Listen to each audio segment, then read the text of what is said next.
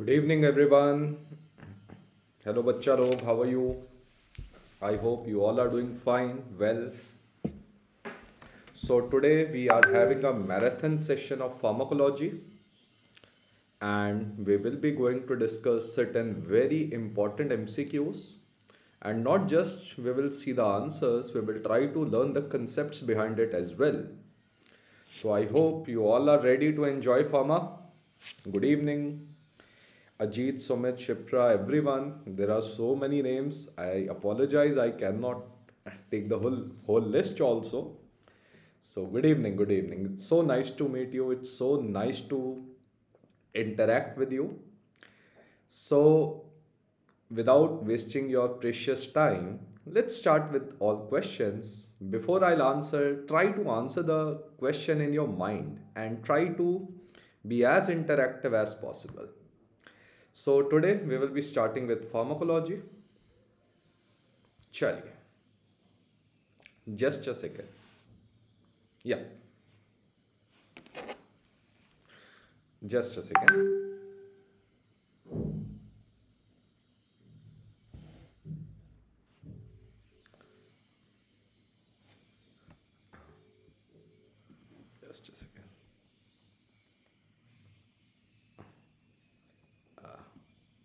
ये ढंग से नहीं किया हुआ आपने क्वेश्चन नहीं आ रहा I think this is fine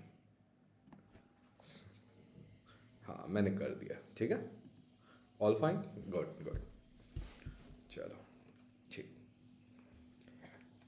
I hope now it's clear to everyone no problem it was not a glitch बेटा so great some students have already answered great Dharmesh So let's see the question. Let's see the question. A patient came, came to causality with organophosphate poisoning. Oh, they have straight away mentioned it's organophosphate poisoning. So easy for you now. He was started on atropine and infusion with pralidoxime. After two, uh, two hours, the patient had a sudden rise in body temperature now, what is the cause of this increase in body temperature? What is the cause of this increase in body temperature? so, anyone? Yes, you all are absolutely right. That is atropine toxicity. Now, let's see the reason for it. Let's see the reason for it. Chalo beta. What is organophosphate? I'll use the short form OP, organophosphate. Beta organophosphate is a chemical which inhibits one enzyme known as choline esterase enzyme. Now this enzyme is responsible for degradation of acetylcholine.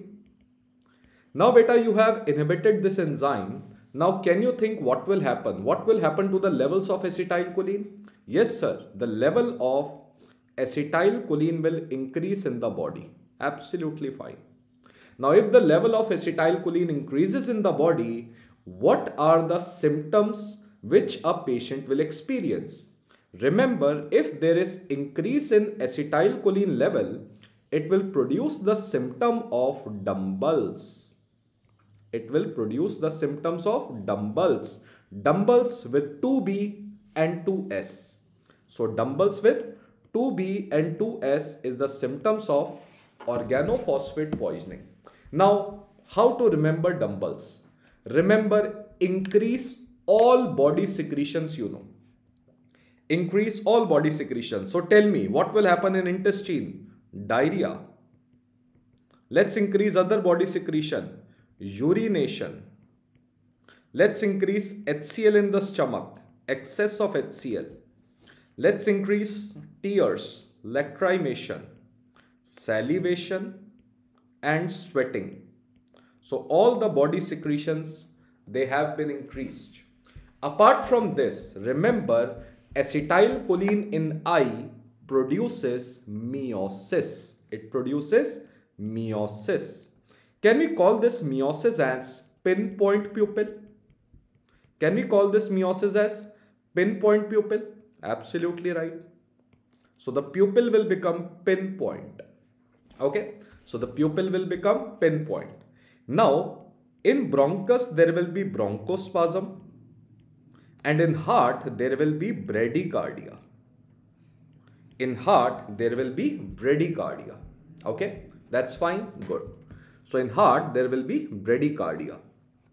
Now, what is the treatment of organophosphate poisoning? Let's see the treatment. Beta, we have to do two things.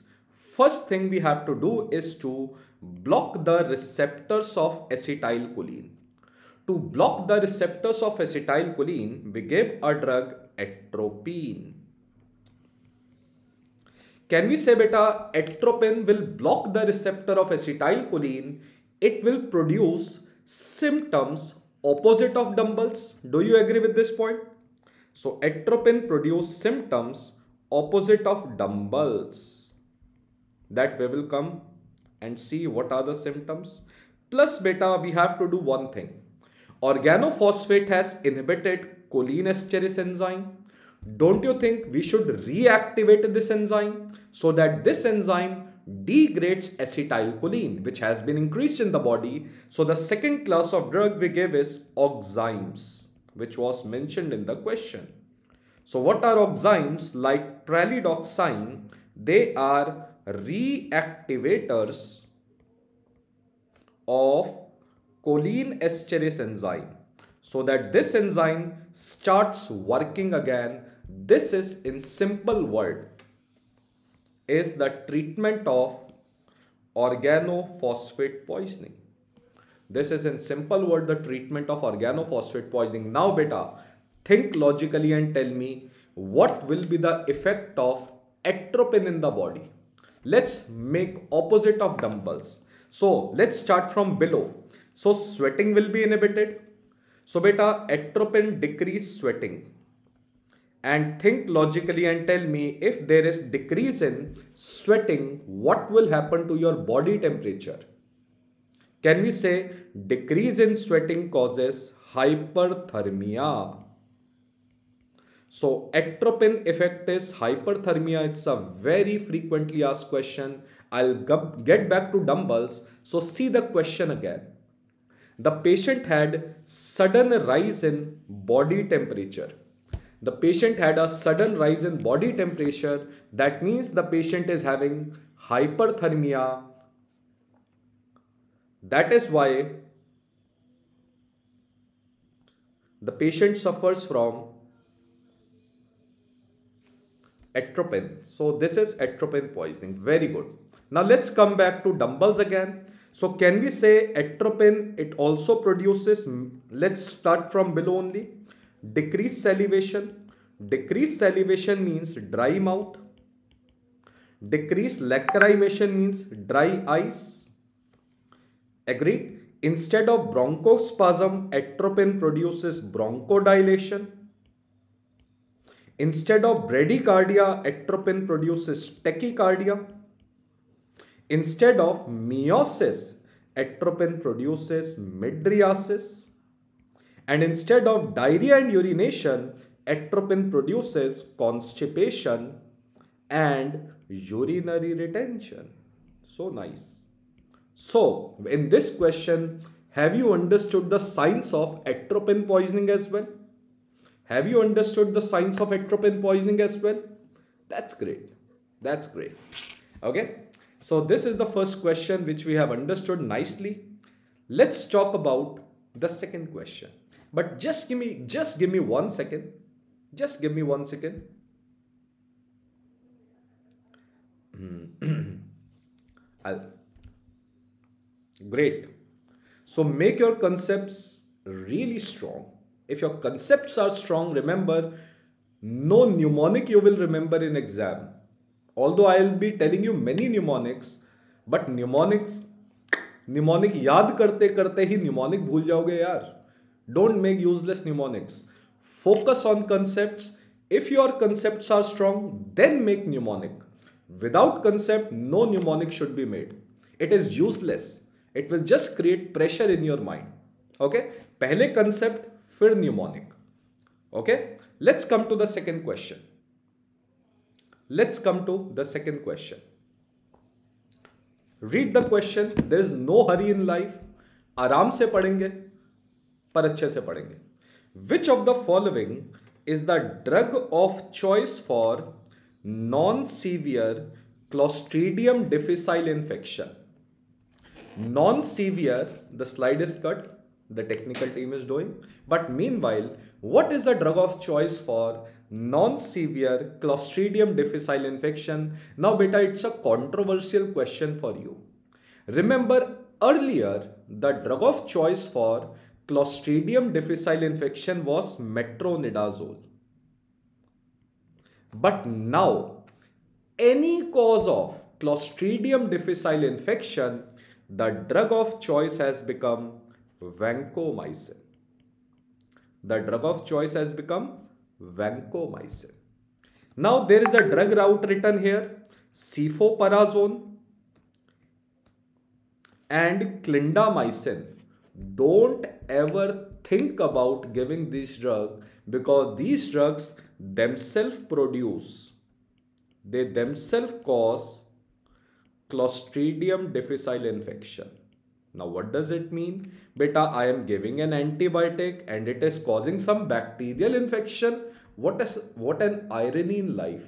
Antibiotic दे रहे हो infection हो रहा है ऐसा भी होता है बिल्कुल होता है let's understand what is what is clostridium difficile colitis very beautiful concept very innovative concept so i'll just write the short form Clostridium difficile infection, it is also known as antibiotic.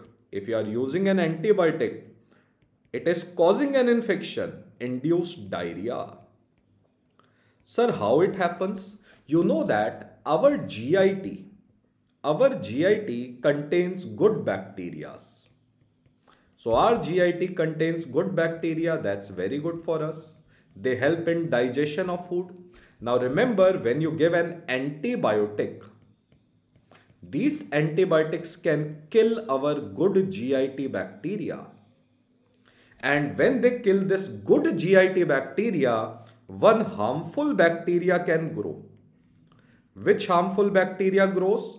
That is Clostridium difficile bacteria can grow. And this Clostridium difficile infection will lead to diarrheas. So one question comes in our mind, sir, which antibiotic can cause C. difficile infection? I will tell you one truth in your life. All antibiotics can cause C. difficile infection. But the question will come, which antibiotic has highest risk of causing, which antibiotic has highest risk of causing Clostridium difficile infection, remember a mnemonic CCD.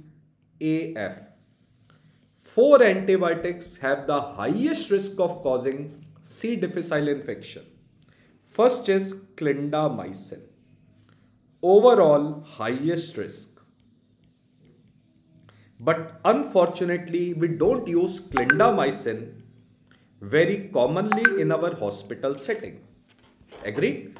The drug which we use very commonly in our hospital setting is cephalosporins with cephalosporin, third generation cephalosporin. And these cephalosporin will end with the word zeme and on.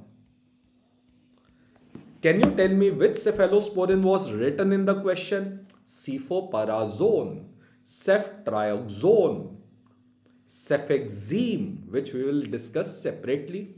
Which penicillin has highest risk of causing? Ampicillin, and lastly, FQ, FQ means fluoroquinolones. Now the second question is how to treat Clostridium difficile infection. How to treat Clostridium difficile infection? Let's see the treatment. So Clostridium difficile infection, it is also known as pseudo membranous colitis. Because it causes inflammation of colon by making some membranes where it will reside वहीं पे वो छुप जाता है membrane के अंदर colitis होता है if there is colitis the food will not get absorb properly and the patient suffers from diarrhoea and the patient suffers from diarrhoea so let see how to treat clostridium difficile infection I will tell you the guidelines If the patient has first CDI episode, first time the patient is having Clostridium difficile infection, there are two drugs which we can use. The first is oral vancomycin. Why sir oral? Here oral word is also beta very important. Oral vancomycin is not absorbed but it will kill this bacteria in colon. And the second drug, which is a first line drug, is oral fidaxomycin. Fidaxomicin कैसे याद करें fidaxomicin faeces को सही कर देता है यह faeces को सही कर देता है now what is the most effective drug most effective drug for C D I is fidaxomicin and it is considered to be the drug of choice पर आपको एक अंदर की बात बताता हूँ fidaxomicin is not available in India if fidaxomicin is not available in India in india what is the drug of choice tell me in india what is the drug of choice in india the drug of choice is vancomycin because fidaxomicin is not available in India. But if MCQ comes, that means examiner is giving you fidaxomicin. चलो उसने import कर लिया होगा अपनी girlfriend से मंगा लिया होगा कोई बात नहीं That means if fidaxomicin is in the option, the overall drug of choice will be fidaxomicin. Fine. Till how many days we have to give? We have to give for 10 days. 10 days. Now, after 10 days, patient came with second episode of CDI. Patient again has second episode of CDI, Clostridium difficile infection. Now what we will do? Instead of 10 days, we will give the same drugs for 20 days. My God. so first episode 1 and 0 10 days second episode 2 and 0 20 days समझ आ गई बात plus we will add a drug plus we will add a drug to these two drug a drug is bezlotoxumab it has been asked as a separate question so we add a drug in second episode second मतलब ए के बाद B आता है तो B कब दोगे जब second episode होगा bezlotoxumab we can see it's an antibody tox word आ रहा है बेटा टॉक्स वर्ड आ रहा है it's an antibody mab word आ रहा है मैप मतलब monoclonal antibody against toxin clostridium difficile produce toxin तो इसमें टॉक्स वर्ड डाल दिया मैब का मतलब एंटीबॉडी है मोनोक्लोनल एंटीबॉडी बी का मतलब it is against a toxin B of clostridium difficile clostridium difficile बेटा makes two type of toxin toxin A toxin B B से डायरिया होता है ठीक है बी बुरा है बी से डायरिया होता है fine good now let's say the patient has third episode और रिकरेंट सीडीआई अब पेशेंट को बार बार हो रहा है रुक ही नहीं रहा बेचारा वो अपने कमरे में नहीं बैठता वो कहाँ बैठता है वो तो वॉशरूम में बैठा रहता है अब क्या करें sir in these drugs we will continue with them they will continue no define therapy कब तक करें भाई वो तो टॉयलेट में बैठा है but we will add a drug that is rifaximin एक और ड्रग ऐड कर दो कौन सा ड्रग ऐड कर दो rifaximin and this is an indication to replace good bacteria अच्छे बैक्टीरिया को रिप्लेस करो बिकॉज अच्छे बैक्टीरिया बुरी बैक्टीरिया को किल कर देंगे अच्छाई की बुराई पे जीत होगी replace good bacteria which is known as faecal microbiota transplant ऐसा भी कुछ ट्रांसप्लांट होता है हाँ सर ऐसा भी कुछ ट्रांसप्लांट होता है फीकल ट्रांसप्लांट भी बोलते हैं this is known as faecal microbiota transplant done very good mab ठीक है रिकरेंट सीडीआई है दो ड्रग और ऐड कर देंगे सर तीसरी एक और चीज पेशेंट ओपीडी में नहीं आया पेशेंट इमरजेंसी में आया patient came to emergency that means the patient is having invasion of this clostridium difficile into the blood मतलब पेशेंट को क्या हो गया है सेप्सिस हो गया है सेप्सिस का मतलब पूरी बॉडी में सीडीआई फैल गया है सेप्टिक शॉक में जा रहा है एक आदमी हाइपोटेंशन हो गया है फीवर हो गया है अब क्या करें hypotension fever sepsis in this case the only treatment is give two drugs oral vancomycin plus intravenous metronidazole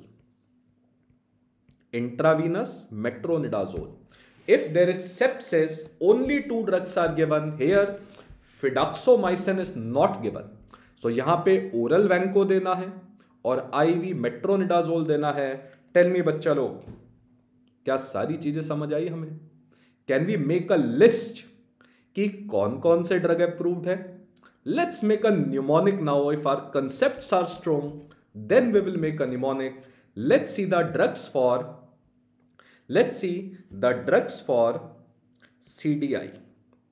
Let's make a mnemonic up. Let's see the drugs for CDI.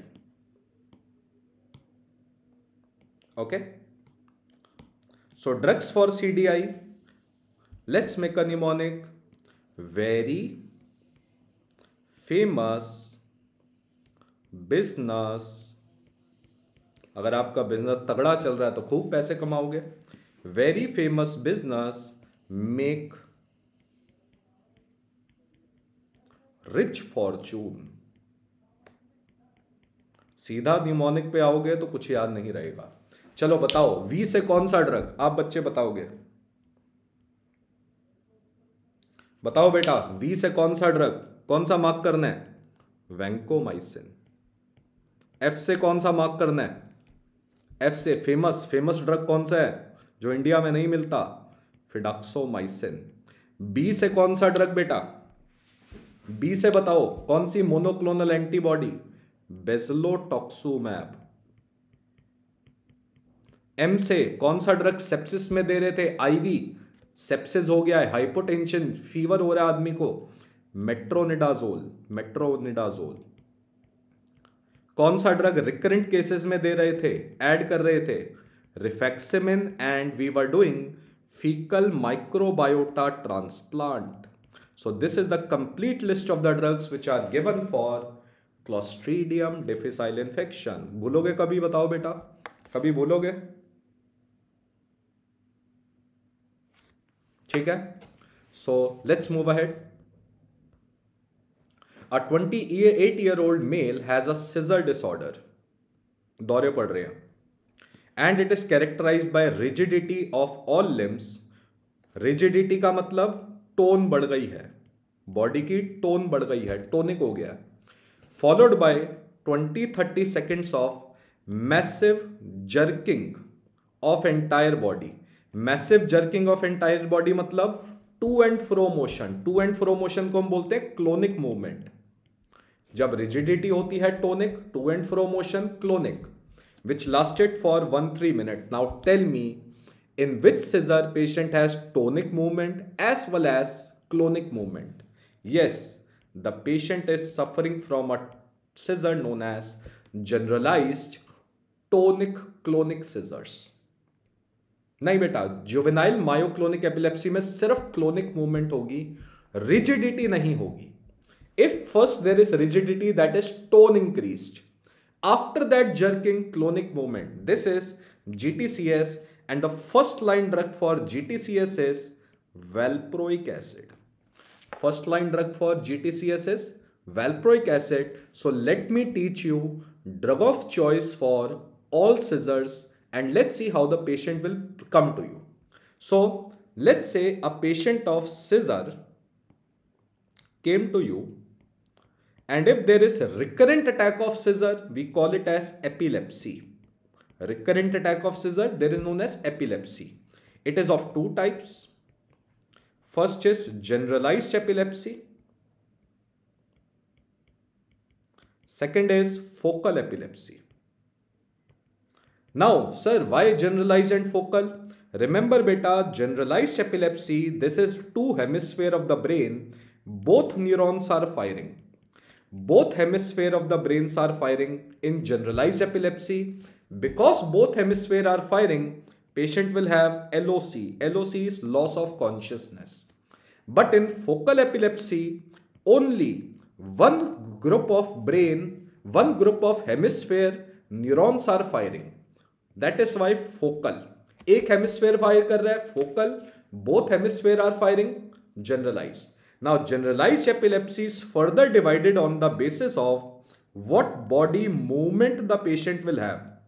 Body को body में ऐसी क्या movement आती है we divide them into different types first is GTCS generalized tonic clonic seizure second is absent seizure sir why it is known as absent seizure because in absent seizure there is no body movement patient आपको देखता रहेगा ऐसे जैसे उसको प्यार हो गया आपसे और थोड़ी देर के बाद द पर्सन विल बिकम बेहोश और loss of consciousness so how do we diagnose seizure patient में तो कोई बॉडी मूवमेंट ही नहीं होती we only diagnose seizure on the basis of EEG encephalogram जब आप यहां पे इलेक्ट्रोड्स लगाओगे न्यूरॉन फायर कर रहे होंगे and this is an MCQ sir क्या पैटर्न दिखेगा ईईजी e में three hertz wave spike pattern याद रखना है fine lastly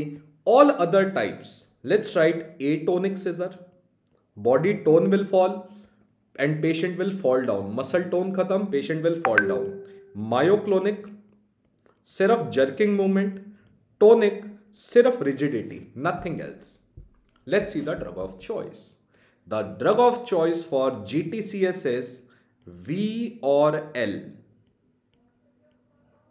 एबसेंसिजर वी और L rest all other generalize seizure V और एल सर इतना ईजी हो सकता है हमारी मेडिकल साइंस इतनी ईजी नहीं हो सकती फॉर एबसेंसिजर वी से पहले बेटा एक ई e डाल दो और टोनिक मायोटोनिक मायोक्लोनिक और टोनिक के लिए एल के बाद टी डाल दो these are the drug of choice for all types of generalize seizures fine तो GTCS V stand for any one good student कौन बताएगा बेटा वी से कौन सा ड्रग होगा वी से है valproate so this was the answer and L for lamotrigine L for lamotrigine ठीक है same valproate and lamotrigine E for ethosuximide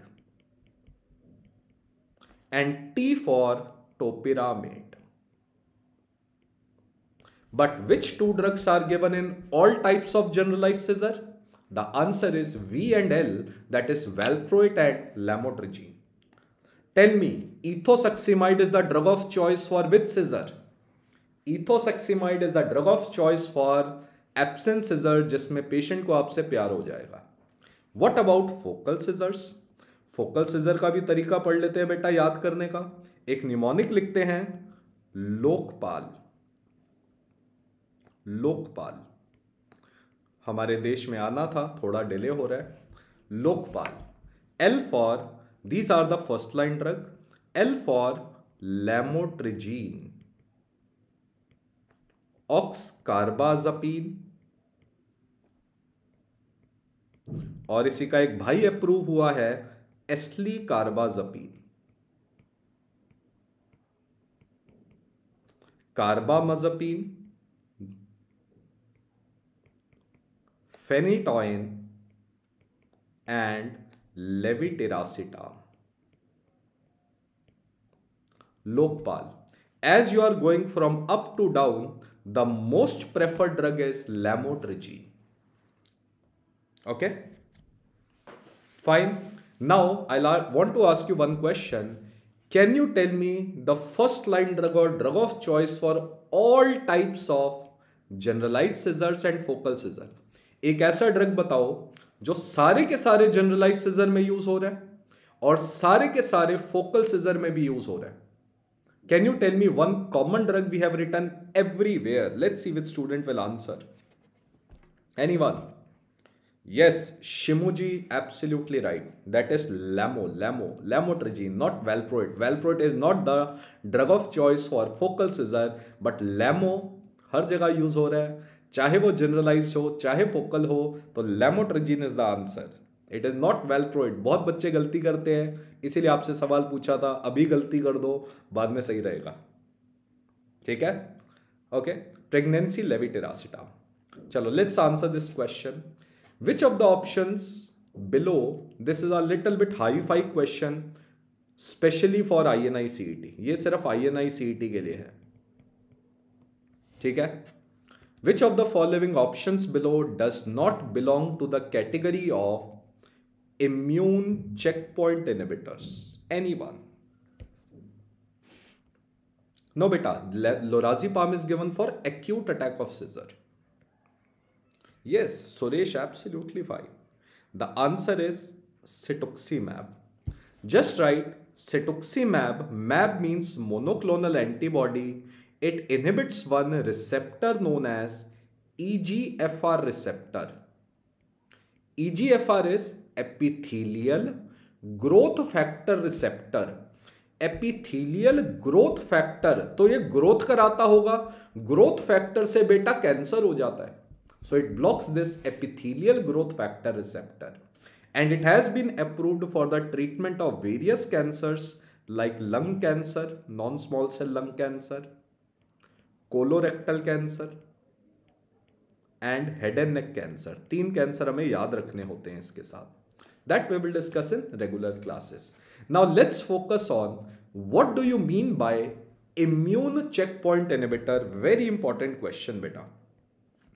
Before start, straight away telling you the concept, बेटा I want to ask you one thing don't you think हमारी body में जो cancer है the cancer in our body bypass our body immunity हमारे अंदर जो cancer होता है वो इम्यूनिटी से बच जाता है कैंसर बाईपास और saves itself from body immunity that is why cancer cell grows let's see how cancer cells save themselves from immunity. Let's say this is a beautiful lymphocyte or WBC. This is a Pac-Man WBC and this WBC is protector for us. This WBC wants to kill the cancer. So let's say this WBC is the part of immunity. so, our immunity to sir cancer ko kill karna chati hai. But cancer what it does? cancer cells make certain molecules. Cancer cells make certain molecules to protect themselves from killing. Let's see what will happen. They make one molecule known as PD1. PD1 is programmed death. So this molecule is programmed death 1 This program death 1, it goes to WBC.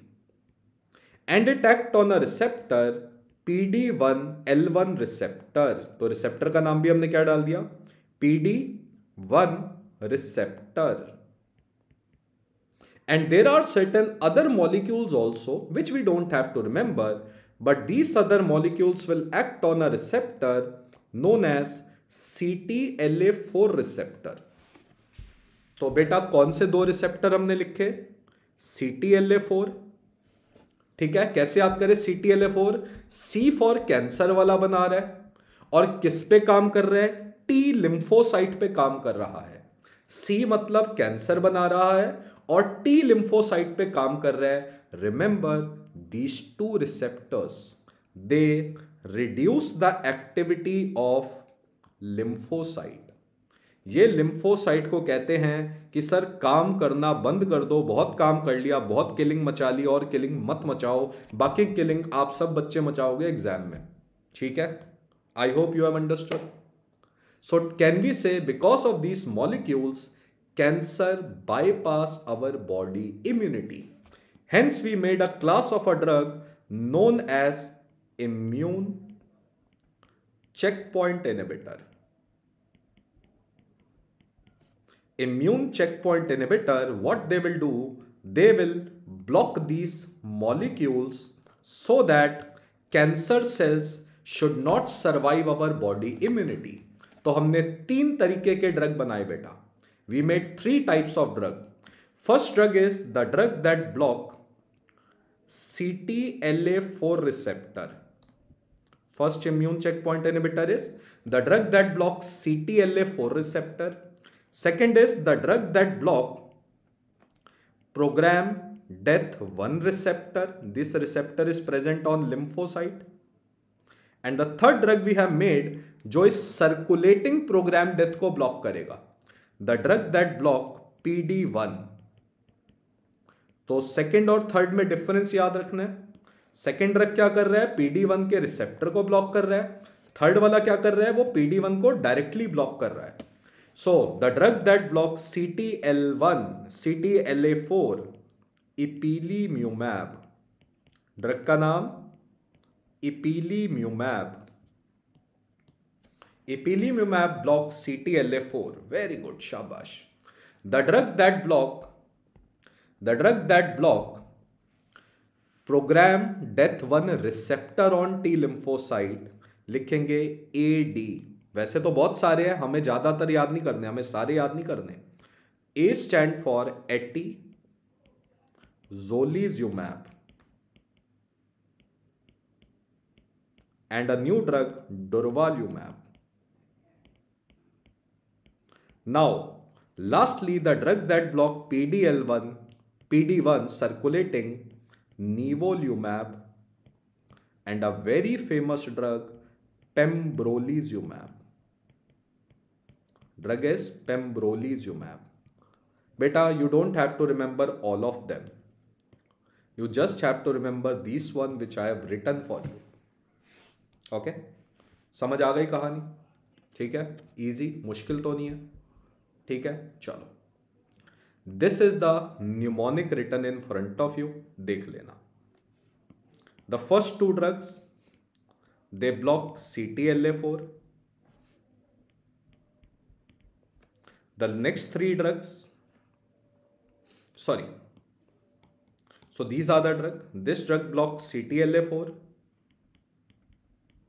these drugs they block program death receptor 1 ठीक है these drugs last two drugs they block program death 1 ipilimumab blocks this nivolumab blocks this ठीक है तो एक list बना दी आपके लिए मैंने ठीक है But you don't have to remember the full list the drugs I have told you beforehand you just have to remember these drugs these five drugs you have to remember इसके अलावा कोई नहीं now let's talk about a follow up question Which of the following drugs have been recently approved? INICT का सवाल है recently approved by FDA as an immune checkpoint inhibitor for carcinoma of endometrium. For carcinoma of endometrium, two drugs have been approved. First is pembrolizumab. I will give you a trick how to remember. And durvalumab.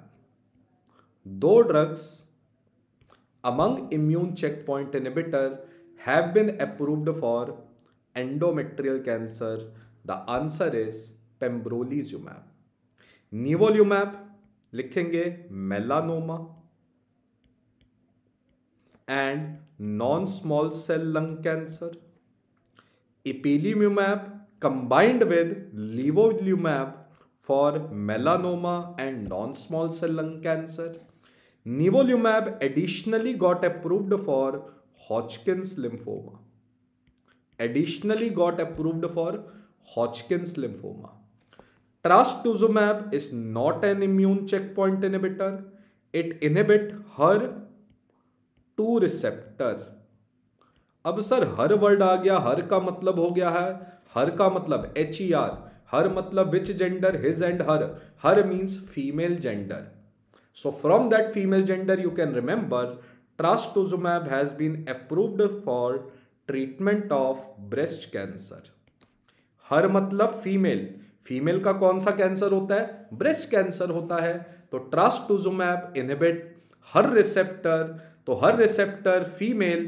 Female का trust कभी नहीं तोड़ना चाहिए तो treatment for breast cancer ठीक है ठीक है तो ट्रस्ट हर वेरी गुड तो फीमेल का ट्रस्ट कभी नहीं तोड़ना हमें तो this drug is very important pembrolizumab it blocks program death 1 PD1 and this pembrolizumab has been approved for the treatment of 30 cancers क्या यार याद कर सकते हो नहीं याद कर सकते हमें सिर्फ इंपॉर्टेंट कैंसर याद करने हैं we have to remember only pembro हमें क्या याद करना है सिर्फ पेम्ब्रो ये वर्ड याद करना है okay P for pulmonary cancer lung cancer.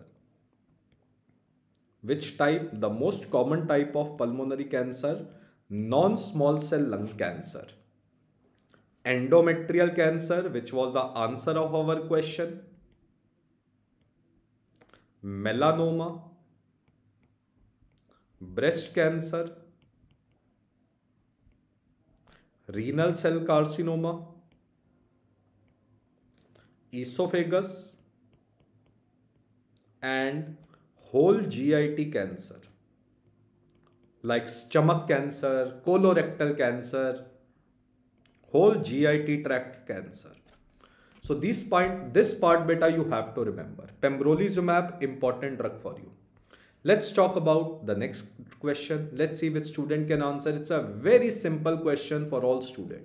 Very simple question.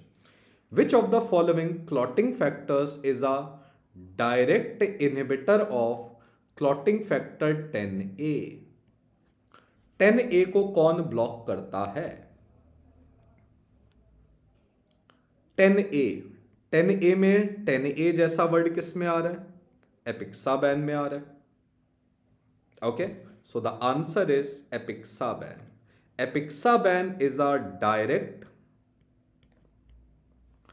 10A inhibitor अभी देखते हैं कैसे याद करेंगे what is fondaparinux fondaparinux is an indirect ten A inhibitor sir ये भी टेने इनहिबिटर है पर ये इनडायरेक्ट इनहिबिटर है what does it mean we will see dabigatran T R word आ रहा है T R means thrombin T R means thrombin A N means antagonist thrombin is factor two inhibitor aspirin is a cox inhibitor it is not an anticoagulant drug it's an antiplatelet drug okay now let's classify and understand all anticoagulant drugs at one place Okay.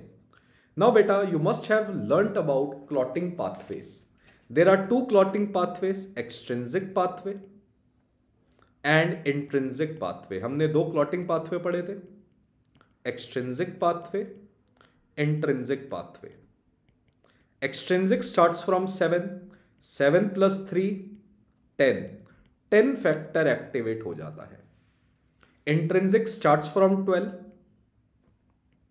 Through various clotting factor eleven eight nine it also converts to factor ten now factor ten activate factor two two is prothrombin into thrombin And thrombin causes fibrin deposition. It converts fibrinogen into fibrin and fibrin gets deposited. Now we have a class of a drug known as anticoagulant drugs. Anticoagulant drugs they prevent fibrin deposition. Anticoagulant का काम क्या होता है anticoagulant का they prevent fibrin deposition. How? By inhibiting these clotting pathways. These anticoagulant drugs are divided into two types. One is oral anticoagulants. Second is by injection we give parenteral anticoagulants. Now oral anticoagulants are of three types. Very simple and easy to remember. First is vitamin K antagonist, the drug that block vitamin K. Then we have factor 10A inhibitor, factor 10A antagonist, and lastly we have is direct thrombin antagonist. Let's see how we can remember. Now remember vitamin K, it inhibits 2, 7, 9 and 10. And these four clotting factors by are blocked by warfarin. So warfarin is a vitamin K antagonist 2, 7, 9 and 10. Then factor 10 inhibitor. These drugs will, end, will inhibit factor 10 only. And these drugs will end with the word exaban. Sir, why exaban? Because they are inhibiting factor 10. Like apixaban. The longer acting name, rivaroxaban even longer acting drug, and any other drug which ends with the word ban, XA ban, will be a factor 10A inhibitor. XA matlab factor 10. Now, direct thrombin inhibitor, dabigatran, it will only inhibit factor 2, dabigatran. How to remember dabigatran?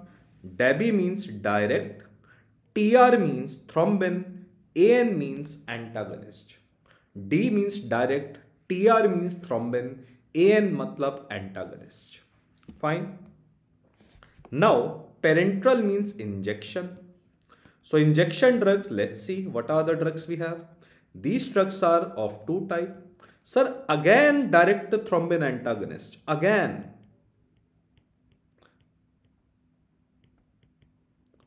Direct thrombin antagonists, that means they will directly bind to circulating factor 2. And these drugs will end with the word rudin. Rudin, hirudin, saliva of leeches, lepirudin, desirudin. So these drugs will end with the word rudin, rudin, rudin. But they are injectable drug. And among parenteral we have indirect thrombin inhibitor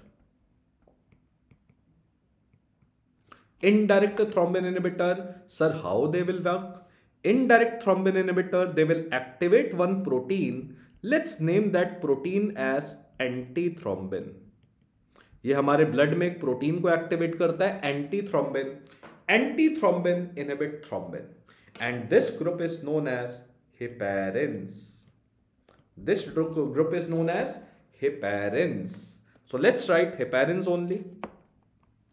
Heparins को भी देख लेते हैं. Heparins are direct thrombin inhibitor or indirect. They are indirect thrombin inhibitor. And they activate one molecule. Let's name that molecule as antithrombin. Full form is antithrombin 3. Antithrombin 3 will inhibit other clotting factors. Now these heparins are of three type because they activate this antithrombin 3 in different fashion. First is high molecular weight heparin. This drug we call it as heparin. If I'm using a word heparin, it means high molecular weight. Then we have low molecular weight heparin. These drugs, they will end with the word parin. And then we have ultra low molecular weight heparin. This drug will end with the word perinux. So if perin word is coming, low molecular weight. perinux word is coming, ultra low molecular weight. So if I write a word enoxaparin, what does it mean? Deltiparin, what does it mean? Low molecular weight heparin. Ultra low molecular, if I write a word fondaperinox, it means which heparin? Ultra low molecular weight heparin. Idraperinox, ultra low molecular weight heparin. Now the point is they activate antithrombin 3. High molecular weight heparin indirectly inhibits factor 10 and 2.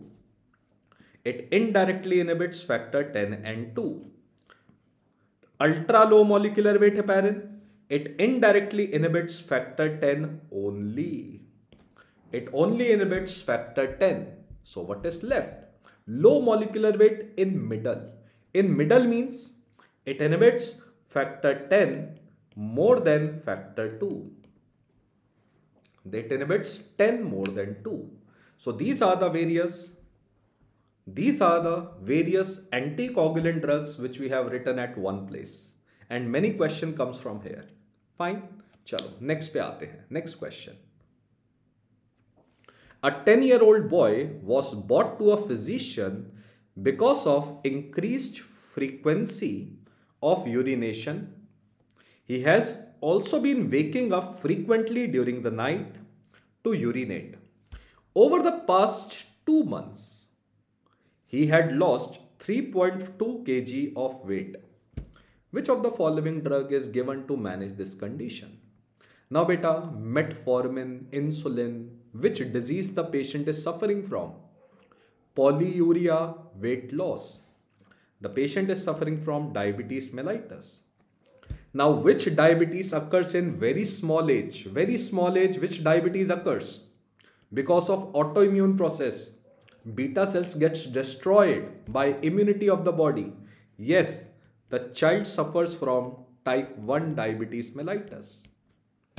And in type 1 diabetes mellitus, there is no insulin in the body because beta cells of pancreas have been destroyed it is mandatory to give insulin from outside it is mandatory to give insulin in type 1 diabetes if you are not doing you are committing a crime to your patient understood this part so let's talk about which drugs are approved for which type of diabetes so let's write drugs for diabetes and there are three main types of diabetes type 1 diabetes mellitus, type 2 diabetes mellitus, and gestational diabetes mellitus. Gestational diabetes mellitus beta means diabetes which occurs in pregnancy. Now in type 1 diabetes, it's an autoimmune disease this autoimmune disease, antibodies are produced which causes beta cell destruction. Because of this reason, there is no insulin in the body. There is no insulin in the body. Insulin hai nahi. So what is the treatment? The drug of choice for type 1 diabetes is always and always insulin. Insulin to sir देना hi देना hai. Okay.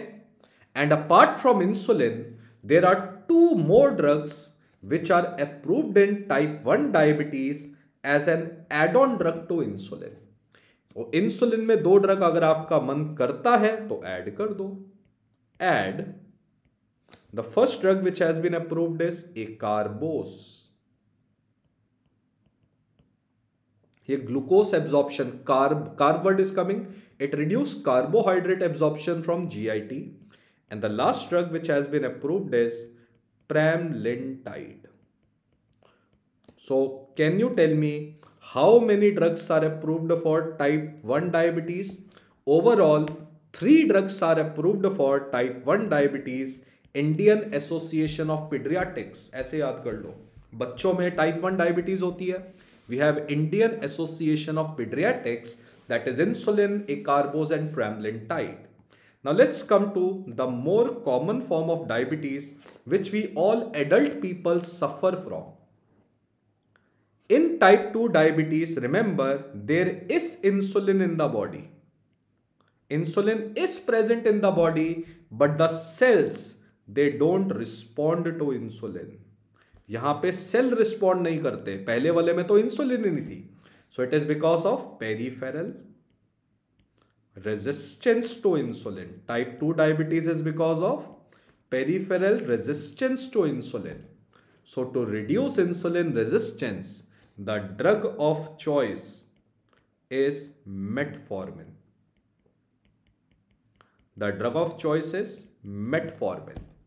Sir metformin start कर दिया control नहीं हो रहा अब भी blood glucose का लेवल बढ़ा हुआ है then we add other O H A other drugs we add other drugs sir अब भी ठीक नहीं हो रहा लास्ट में we start insulin now remember apart from insulin all other drugs in diabetes they are known as O H A सारे के सारे ड्रग्स सारे के सारे ड्रग्स को हम डायबिटीज में क्या बोलते हैं या तो इंसुलिन या O H A O H A होता है oral hypoglycaemic agents fine lastly gestational diabetes mellitus so before coming to gestational only three drugs are approved in type one diabetes all drugs are approved in all drugs are approved in type 2 diabetes.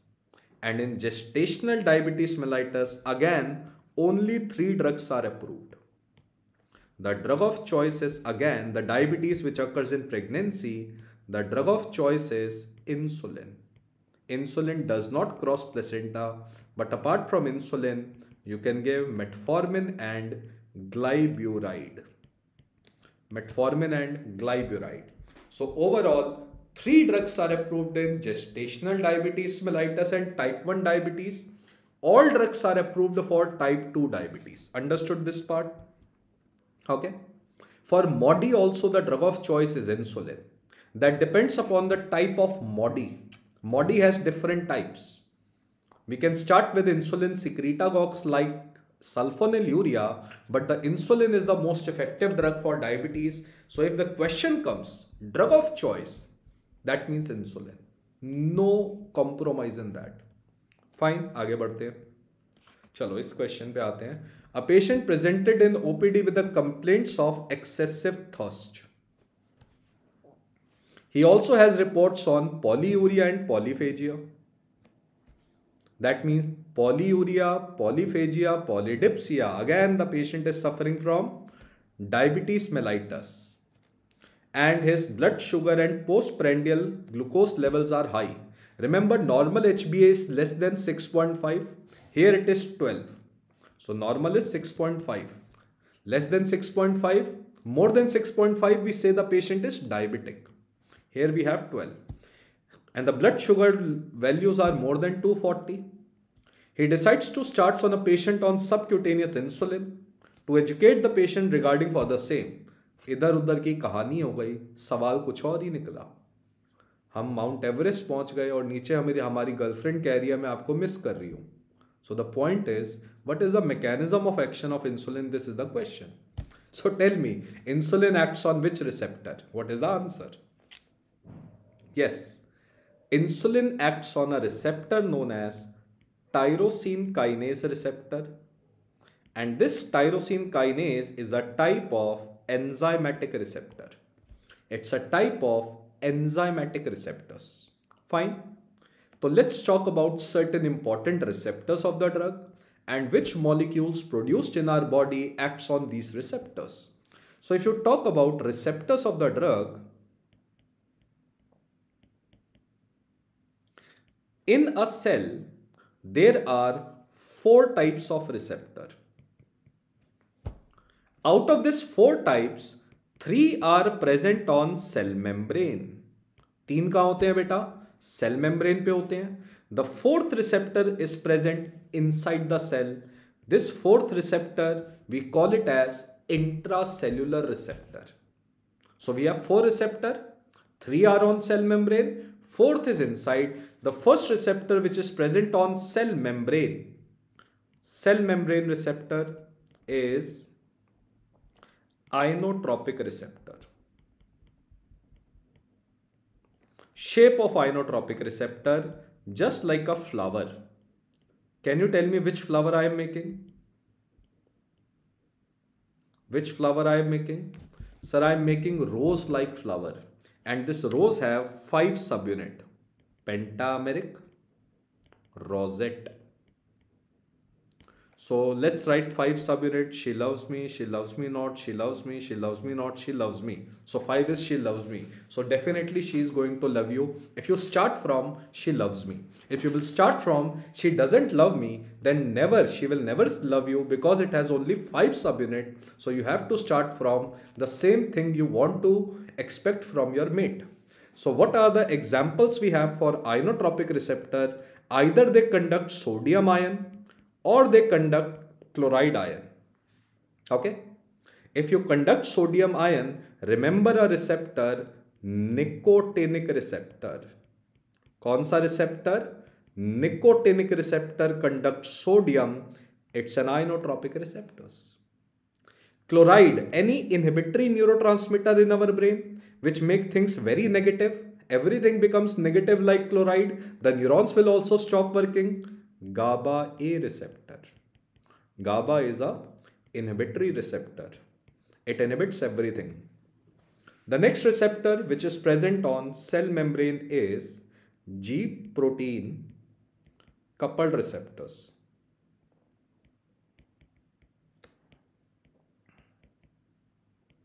Okay. Short form is GPCR. Let's see the shape so you had a girlfriend, but that girlfriend had a opposite affair, somewhere affair. So that means there is some snake out there who is who wants to capture your girlfriend. So when you went to give a rose-like flower, you found that your girlfriend has another affair and you want to catch that snake.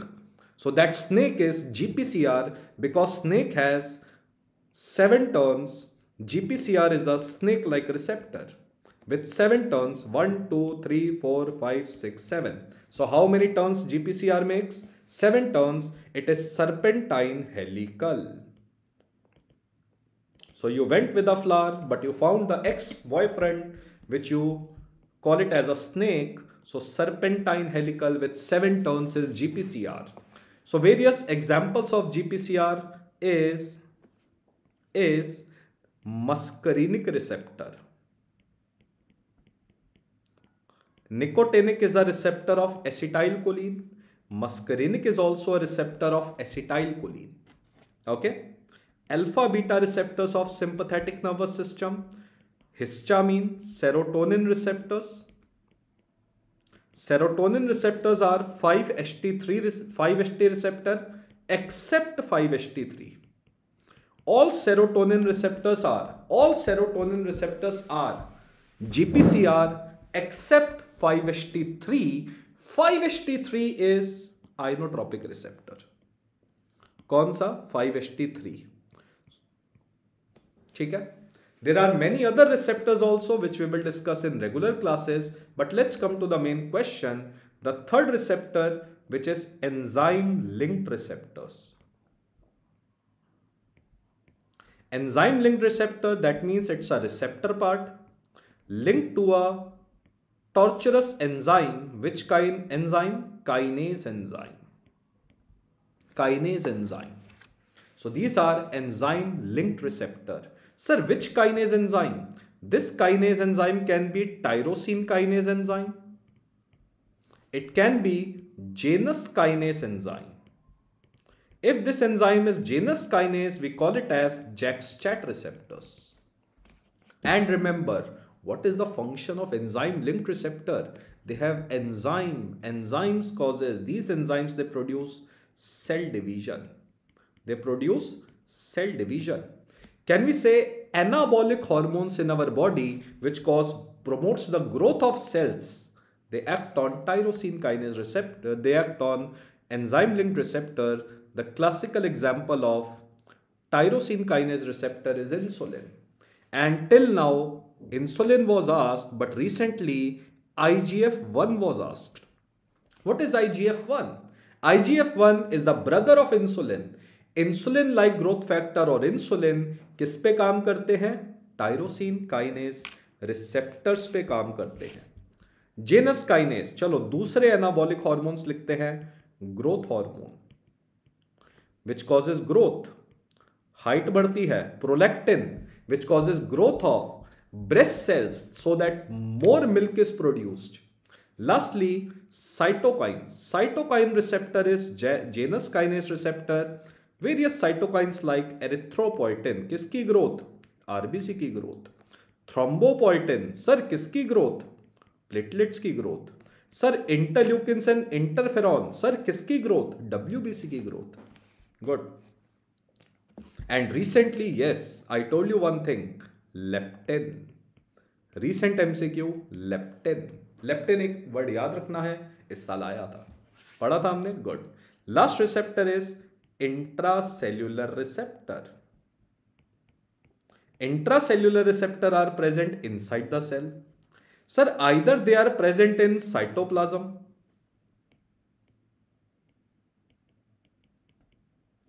और they are present inside the nucleus but remember both these receptors are known as nuclear receptors इन दोनों को क्या बोलते हैं बेटा nuclear receptor ही बोलते हैं लोकेशन अलग अलग जगह पे हो सकती है intracytoplasmic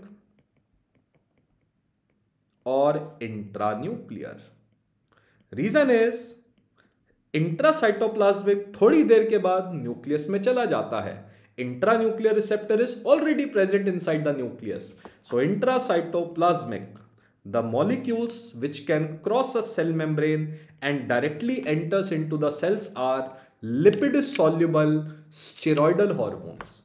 So intracytoplasmic, you will write steroids like glucocorticoid, mineralocorticoid, testosterone, progesterone and vitamin D3 receptors which are calcitriol receptors are also intracytoplasmic receptor. Don't be confused आपको बुक्स में इंट्रा न्यूक्लियर लिखवाते हैं जो गलत लिखवाते हैं vitamin D three calcitriol calcitriol vitamin D three का दूसरा नाम है C for calcitriol C for cytoplasmic no confusion in that intra nuclear T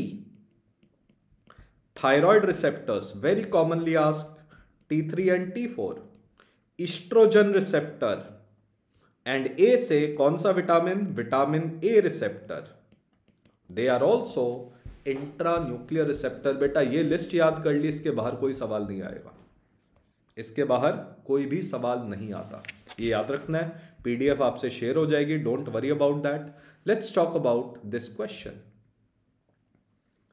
a 44 year old presents with the OPD with the complaints of increase hunger and thirst he noted to have a very high blood sugar level H B A one C बढ़ा हुआ है a doctor decides to start insulin therapy which of the following insulin should not be mixed with other insulin कौन सी insulin को दूसरी insulin से mix नहीं करता रिमेंबर सब इंसुलिन का पीएच क्या होता है all insulin have neutral pH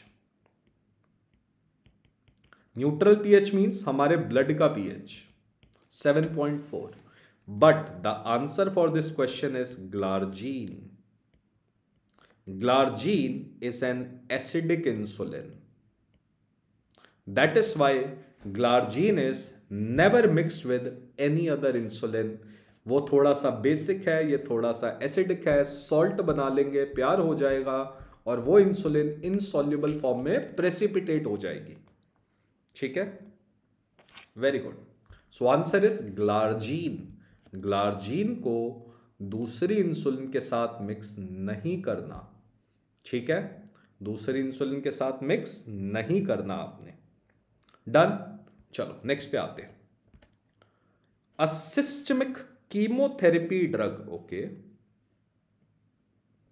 use to treat breast cancer can cause haemorrhagic मतलब ब्लीडिंग सिस्टाइटिस मतलब ब्लैडर में damage and bleeding what is the answer haemorrhagic cystitis is cause by a drug cyclophosphamide and एक और drug I ifosfamide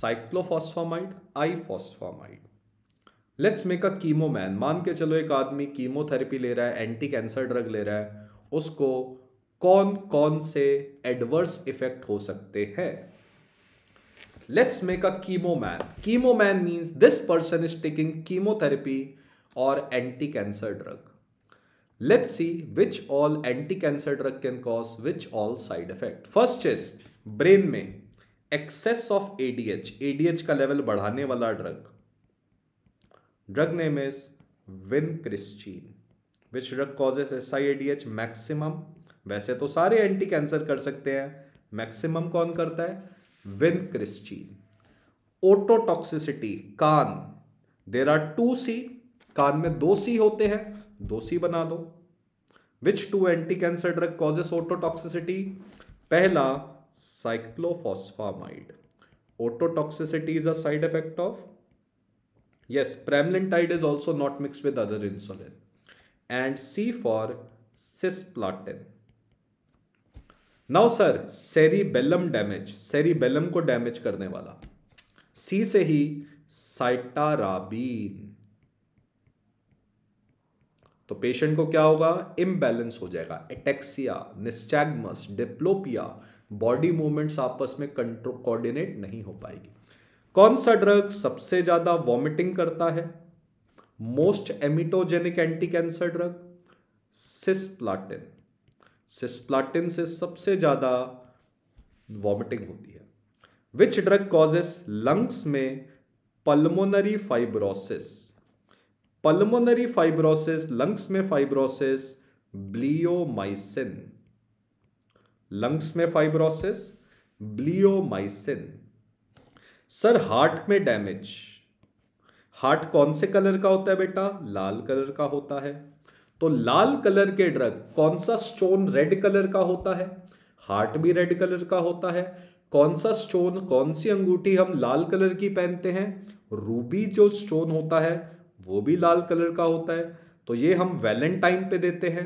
ताकि हमारा दिल ना टूटे है ना तो ruby colour like drug is given in तो these drugs will end with the word rubicin cardiotoxicity rubicin doxorubicin and all other drugs ending with the word rubicin are cardiotoxic ठीक है यस रूबिसिन नेफ्रो किडनी को damage कराते हैं चलो बहुत kidney बच गई थी दोबारा सिसप्लाटिन सिसप्लाटिन में जो प्लेटिनम होता है ना वो किडनी के सेल्स में डिपॉजिट हो जाता है किडनी के नीचे ब्लैडर को डैमेज कराते हैं चलो haemorrhagic cystitis cyclophosphamide and it's brother ifosfamide now skin पे feather like pigmentation flagellate pigmentation bleomycin हाथों में और पैरों में nerves damage foot drop and glove stock neuropathy foot drop paclitaxel glove stock neuropathy vincristine hand foot syndrome हाथों और पैरों में skin damage because these drugs are excreted in sweat and they are deposited in sweat and causes palms and sole damage capecitabine lastly बचा एक drug liver liver में veins की fibrosis hepatic vein fibrosis which leads to venous occlusion we call it as veno occlusive disease of liver the drug is busulfan ठीक है बेटा इसके बाहर कोई एमसीक्यू नहीं पूछेगा कोई आपसे ये कीमोमैन याद कर लेना जस्ट वन और two days before exam because it's a very volatile thing In regular lecture, we have discussed various tricks how to remember them and their antidotes we have also discussed like hemorrhagic cystitis ki antidote humne padhi thi. How to treat hemorrhagic cystitis? Give mesna. How to treat nephrotoxicity of cisplatin? Give amifoscine. How to treat cardiotoxicity of doxorubicin? Drug dexrazoxane last year MCQ how to treat venous fibrosis defibrotide fibrosis को prevent करने वाला de means inhibit fibro means fibrosis को prevent करने वाला so this is the whole anti cancer drug side effects in two minutes ठीक है whole anti cancer drug side effects in just two minutes make this chemo man in your beautiful notes make them very beautifully ताकि आखिरी में आप आसानी से revise कर पाओ ठीक है next question a little bit high level question थोड़ा सा कॉन्ट्रोवर्सियल भी है let solve that controversy now this question you will find in question bank I intentionally took this question a recently approved drug which has been shown to significant reduction in disease progression in a 53 year old male with diabetes and hypertension diabetic hai hypertension hai disease ka progression rokna hai this is what it is meant presenting with nausea vomiting shortness of breath and altered taste blood vision diarrhea extreme weakness these are the features of heart failure है ना shortness of breath मतलब heart अगर fail है तो lungs में blood इकट्ठा हो जाएगा shortness of breath pulmonary oedema हो जाता है with worsening of lower limb oedema lower limb oedema भी हार्ट फेलियर में होता है with markedly elevated urea and creatinine urea और क्रेटेनिन भी बढ़ा है तो मतलब आदमी को किडनी फेलियर भी है so patient is suffering from C H F and C K D C H F भी है यूरिया क्रेटिनिन बढ़ा है तो मतलब सी के डी भी है क्रॉनिक किडनी डिजीज भी है क्रॉनिक हार्ट फेलियर भी है कौन सा ड्रग डायबिटीज में which drug in diabetes mellitus has kidney protective effect nephro protective effect as well as cardio protective effect कौन सा ड्रग डायबिटीज में किडनी को भी प्रोटेक्ट करता है हार्ट को भी The answer is dapagliflozin. Dapagliflozin protects against CHF and CKD. And the brothers of dapagliflozin are canagliflozin, empagliflozin. Canagliflozin and empagliflozin. Now, any drug that ends with the word glyphlozin, any drug that ends with the word glyphlozin is an SGLT2 inhibitor. It's an SGLT2 inhibitor. SG stands for sodium glucose, T for transporter inhibitor. ये transporter बेटा kidney में होते हैं there is another drug known as sotagliflozin answer is dapa sotagliflozin is a dual S G L T one and two inhibitor यह दोनों को inhibit करता है वन और टू को ना what does it mean I will tell you easily but for a moment understand till last year sotagliflozin had only and only nephroprotective effect till last year we believed sotagliflozin does not have cardioprotective effect. But the things becomes changed. Last year, clinical trials were done. humne drug ko test kiya and we found sotagliflozin has cardioprotective effect also. to ab beta this is an old question ये पिछले साल अगर सवाल होता तो dapagliflozin answer था But now the answer is both sotagliflozin and dapagliflozin. So let's see what do you mean by this SGLT2 inhibitors. These drugs they end with the word flozin. Now SGLT is a transporter which is present in nephron. Suppose this is a nephron. On this PCT of nephron, we have SGLT2 which reabsorb sodium and glucose. And in DCT of nephron, we have SGLT1. What is the function? They reabsorb sodium and glucose. So if you inhibit this SGLT, what will happen? It will cause sodium excretion in urine. And it also causes glucose excretion in urine.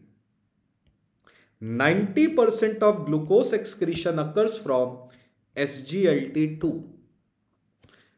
S G L T one sodium excretion and if you inhibit this transporter ten percent of glucose is excreted into the urine by S G L T one तो tell me which is more powerful powerful होता है PCT वाला we all know this thing so these drugs are S G L T two inhibitor They will end with the word flozen. Mnemonic is CDE. CDE. Canagliflozin. Dapagliflozin. And empagliflozin. Now these three drugs, because they cause glucose excretion, they have anti-diabetic effect. They are given in diabetes mellitus because glucose is excreted out in urine. Because they cause sodium excretion, they have anti-hypertensive effect. They reduce BP. If BP is reduced, the pressure on the heart will get reduced. Heart को कम blood pump करना पड़ेगा because it reduces preload on heart, they have cardioprotective effect. Recently, we have shown that they have nephroprotective effect because glucose damages kidney. Okay, SGLT2. Then we have a drug which is a dual SGLT1 plus 2 inhibitor. The only drug is sotagliflozin sotagliflozin दोनों को inhibit करता है and recently it has been approved for the treatment of C H F and CKD. It has been approved in the treatment of diabetes mellitus but recently got approved in the treatment of CHF and CKD. Okay, good. Next question. A 40-year-old male presents to emergency with the complaints of palpitation, sweating and weakness. On further probing, the patient reveals feeling this from time to time and a history of syncopal attacks. That's fine. ECG is suggestive of paroxysmal supraventricular tachycardia that is PSVT.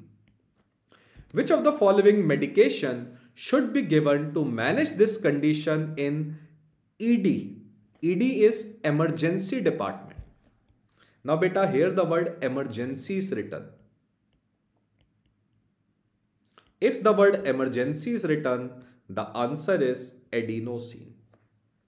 But remember, if we have to give the drug for acute attack of PSVT, emergency adenosine. Other drugs are given for maintenance of PSVT. Other drugs are also given in PSVT. So let me explain you why adenosine, why not other drugs, when to treat, how to treat PSVT. And what is this PSVT stands for? So PSVT is paroxysmal supraventricular tachycardia. इसमें होता क्या Suppose this is heart. Suppose this is heart. Heart में बेटा ये AV node है. Heart में ये AV node Some fibers of AV node are normal, but some fibers of AV node they become excessively activated.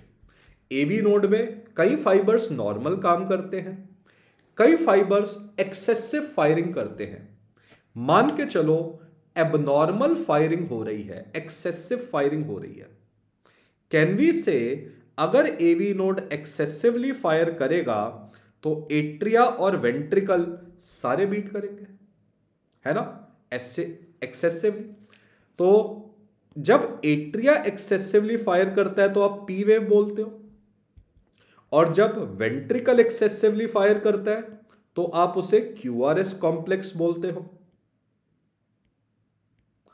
अब एक बात बताओ बेटा अब आप एक बात बताओ एट्रिया बड़ा है कि वेंट्रिकल बड़ा है कौन सा ज्यादा बड़ा होता है एट्रिया तो इतना सा है वेंट्रिकल तो इतना बड़ा है remember this ventricle will dominate atria क्योंकि दोनों इकट्ठे डीपोलराइज हो रहे हैं Q R S complex dominate कर देगा पी वेव नहीं मिलेगी बिकॉज दोनों इकट्ठे फायर हो रहे हैं तो फाइनली सिर्फ हमें क्यू आर एस वेव ही मिलेगी पी वेव नहीं मिलेगी this is an E C G of P S V T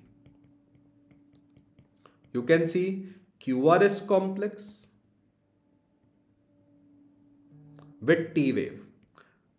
R S complex QRS complex with T wave, again QRS complex with T waves.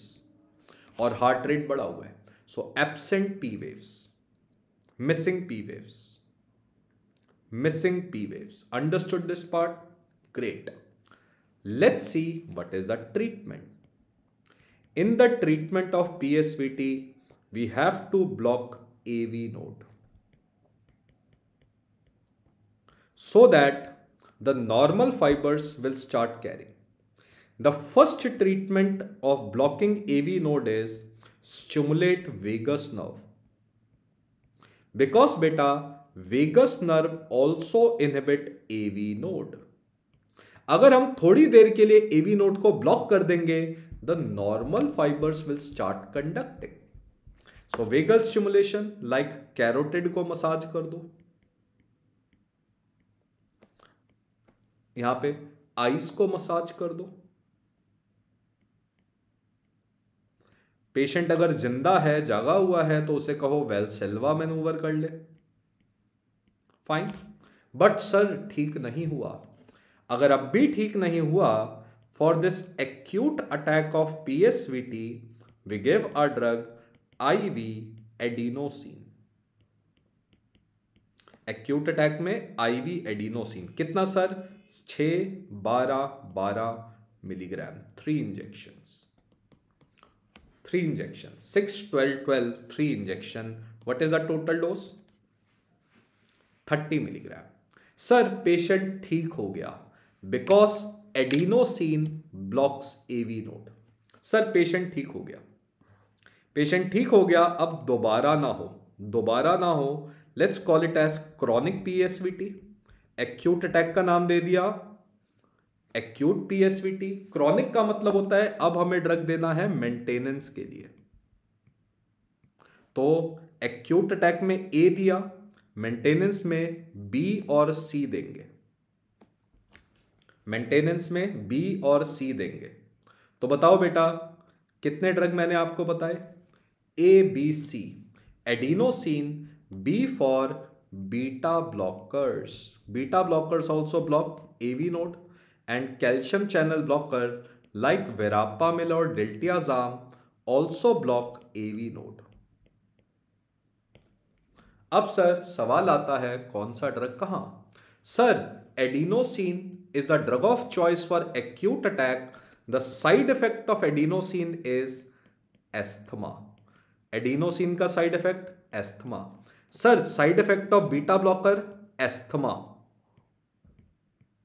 Side effect of adenosine, asthma. Side effect of beta blocker, asthma. Tell me, PSVT with asthma, what is the only option you have? Side effect of adenosine, asthma. Side effect of beta blocker, asthma. Tell me, if I write a question, any type of PSVT, acute attack or chronic, PSVT with asthma, the only option now you are left with calcium channel blockers. The only option you are left with now is CCB. This is a very frequently asked separate question. समझ आ गई कहानी PSVT कैसे करना है treat आपने कभी भूलोगे ए बी सी क्या करेंगे ए बी नोट को ब्लॉक करेंगे डन गुड वेरी गुड शाबाश आगे चलते हैं सोना भी आपको चलो next question which of the following statement accurately describes prasugrel accurately describe prasugrel no unstable patient we always give first haemodynamically unstable any arrhythmia first we should do cardioversion by giving DC shock ठीक है कोई भी arrhythmia हो If the patient is hemodynamically unstable, give shock, hemodynamic shock. If the patient is stable, then we start drugs. Okay. chalo are very good you students are very intelligent sab aata hi hai yaar aapko chalo let's see the reason prasu prasugrel ek baat yaad rakhni hai sir किसी भी drug के end में grel और grelor word आता है it's an anti platelet drug okay grel और grelor वाले क्या है एंटी प्लेटलेट ड्रग होते हैं कैसे काम करते हैं they act on P two Y twelve antagonist I will explain you what does it mean so they are not agonist they are antagonist now prasugrel is less potent than clopidogrel you will right no it is more potent than clopidogrel and what is the importance of this point I will tell you ज़्यादा potent होने से क्या अच्छी बात है क्या बुरी बात है we will see omeprazole activation in interferes in the activation of active metabolite no it rather does in case of clopidogrel not prasugrel ये बेटा हमने चार पांच पॉइंट लिखे हैं इस बात को समझते हैं इस बात को समझते हैं ठीक है ठीक है इस बात को समझते हैं बेटा suppose this is a blood vessel how platelets they attach how platelet attachment occurs मान के चलो बेटा एक प्लेटलेट है ये platelet releases certain molecules and this molecule is ADP ADP word सुना है सबने adenosine diphosphate adenosine diphosphate acts on other platelets and receptor adenosine on other platelet is P two Y twelve receptor sir हमने ऐसा नाम क्यों दिया P two Y twelve Vino बेटा adenosine is a purine adenosine एक purine होती है इसीलिए हम पी टू रिसेप्टर बोलते हैं प्यूरिन का रिसेप्टर है now sir when this adenosine will act on P two Y twelve receptor what will happen these platelets they will attach among themselves they will cause platelet aggregation platelet आपस में क्या हो जाएंगी attach हो जाएंगी with the help of P two vital receptors that is why बेटा we made a class of a drug known as anti platelet drugs we made a class of a drug known as antiplatelet drug these antiplatelet drugs they block adp receptors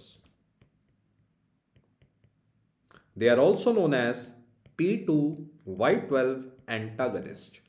They are also known as P2, Y12 antagonist. These drugs are of two types. Either they will block this receptor irreversibly, irreversible blocker, or they will block this receptor reversibly. Any irreversible blocker will end with the word grel. Reversible blocker will end with the word grillor. Reversible blocker, they will end with the word grillor. Okay? Now let's see the name. Heard about a famous drug, clopidogrel and prasugrel. Here reversible ticagrelor and cangrelor. Ticagrelor, cangrelor. Easy to understand and remember. ठीक है now first point sir this clopidogrel and prasugrel are prodrugs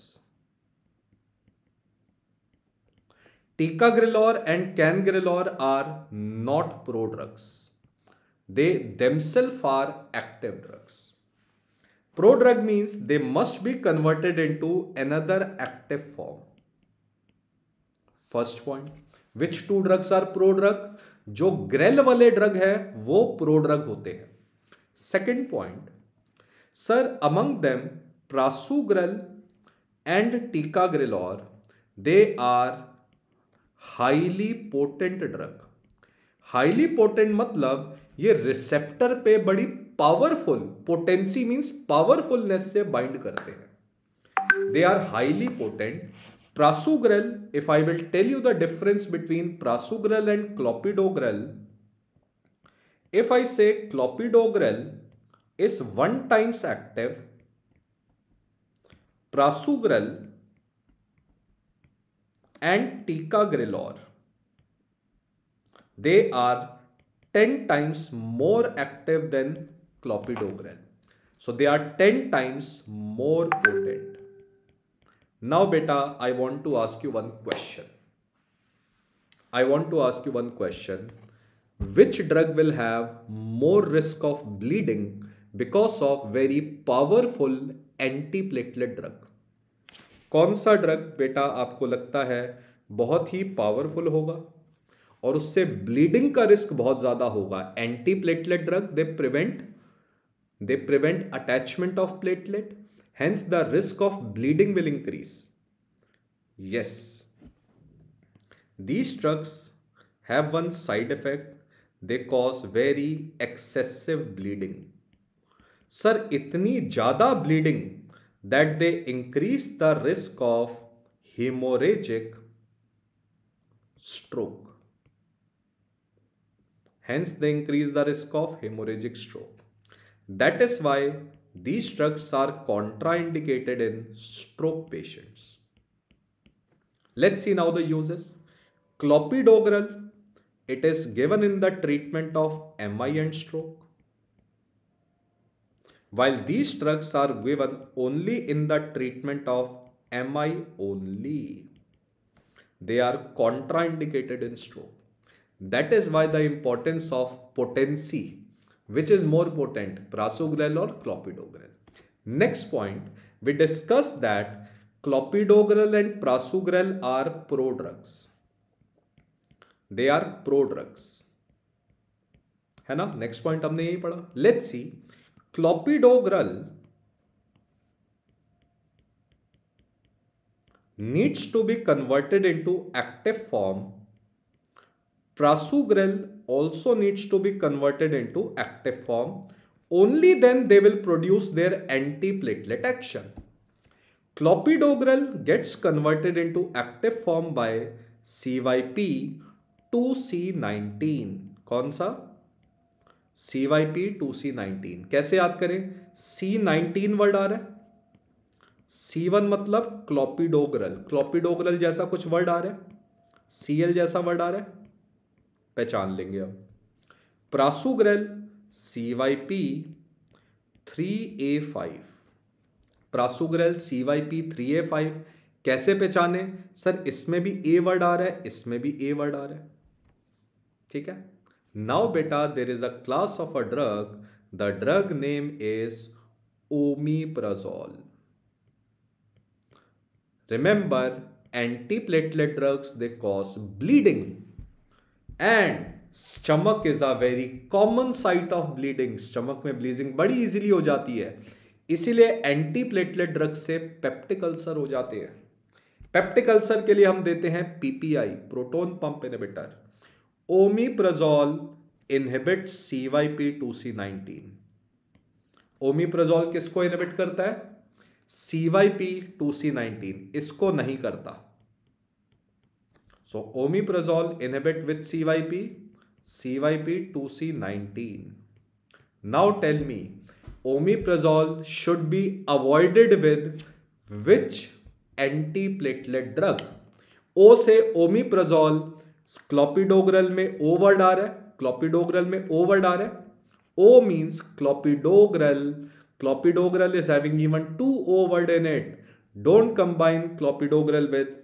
omeprazole तो कौन सा drug omeprazole के साथ नहीं देना clopidogrel क्योंकि उसमें भी ओ वर्ड आता है प्रासुग्रल में ओवर्ड थोड़ी ना आता है तो यू एग्री क्या हमें याद रहेगी बात very good understood this whole concept concepts are very important mnemonics and tricks are secondary after concept okay mnemonic करेंगे बिल्कुल mnemonic पढ़ना है पर पहले कंसेप्ट पढ़ना है बिना कंसेप्ट के न्यूमोनिक पढ़ना you are burdening yourself story बनाना बहुत इंपॉर्टेंट है जब पेशेंट सामने होता है ना बेटा तो न्यूमोनिक याद नहीं आता फिर कंसेप्ट याद आता है okay next question now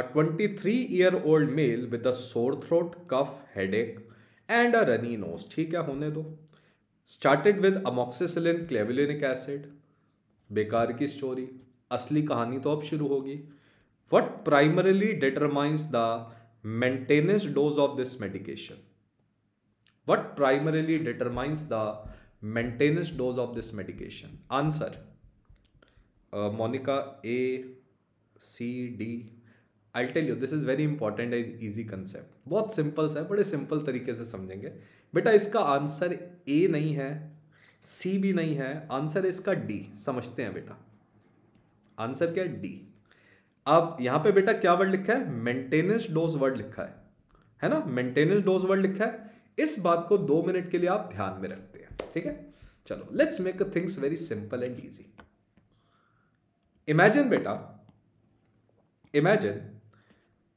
this is plasma this is plasma this is time plasma concentration don't you think beta we all believe in one thing when we take any drug the drug first comes in blood सबसे पहले drug कहाँ आता है बेटा जब हमने drug देते हैं पेशेंट को ड्रग ब्लड में आता है प्लाज्मा में आता है and don't you think plasma में एक ड्रग की कंसंट्रेशन होनी चाहिए there should be some target concentration of the drug in the plasma जिस पे ड्रग अपना बेनिफिशियल इफेक्ट प्रोड्यूस करेगा do you agree with this point or not her drug की हमारे प्लाज्मा में एक नॉर्मल कंसेंट्रेशन होनी चाहिए तो उस पर वो अपना इफेक्ट प्रोड्यूस करेगा ठीक है बिल्कुल सही बात let's say this is the target concentration is present in plasma because बेटा in this target concentration the drug enters in to the organ sufficient amount में ऑर्गन में एंटर करेगा और ऑर्गन में जाके अपना ड्रग इफेक्ट प्रोड्यूस करेगा drug organ में जाके अपना इफेक्ट प्रोड्यूस करेगा डू यू एग्री नाउ बेटा this first dose this first dose which we give to our patient to achieve this target concentration is known as loading dose. इसको हम क्या बोलते हैं loading dose जिसका दूसरा नाम होता है initial dose. जिसका दूसरा नाम क्या होता है इनिशियल डोज बात समझ आया तो इनिशियल डोज जो हम सबसे पहले देते हैं which is also known as L D loading dose ये किन फैक्टर्स पे डिपेंड करेगा सर पहला फैक्टर डिपेंड करेगा कि हमें क्या टारगेट कंसंट्रेशन अचीव करानी है दूसरा सर कितना ड्रग ऑर्गन में जाएगा सर जितना ड्रग ऑर्गन में जाता है इसे हम बोलते हैं movement of the drug into the organ is known as VD movement of the drug from plasma into the organ we call it as volume of distribution volume of distribution का मतलब क्या होता है एक भाषा में कितना ड्रग ऑर्गन में जा रहा है तो क्या आप मुझे बता सकते हो loading dose depends upon which two factors loading dose कौन से दो फैक्टर्स पे डिपेंड करती है पहला फैक्टर जो आप कंसंट्रेशन अचीव कराना चाहते हो और दूसरा कितना ड्रग ऑर्गन में जाता है hence the formula of loading dose is volume of distribution into target concentration into target concentration do you agree fine next point बेटा just tell me if this drug is more lipid soluble अगर यह drug ज्यादा lipid soluble होगा तो आपके हिसाब से यह ज्यादा इंटर करेगा कि कम एंटर करेगा ऑर्गन में If you want better, I'll speak in English also. My English is pretty good. But sometimes Hindi we understand better. Lipid wala tissue mein jayega. So if the drug is more lipid soluble, it will have more entry into the organ. So can we say lipid solubility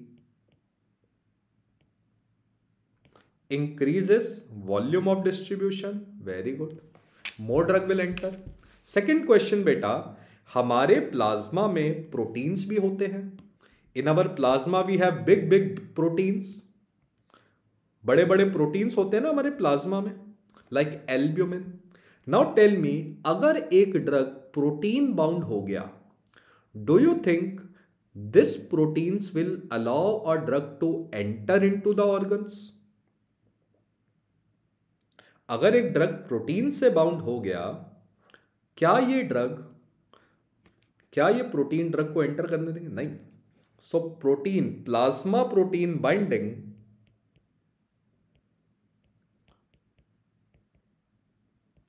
increases increasing volume of distribution और decreases what do you think it reduces volume of distribution These are the two factors on which volume of distribution depends.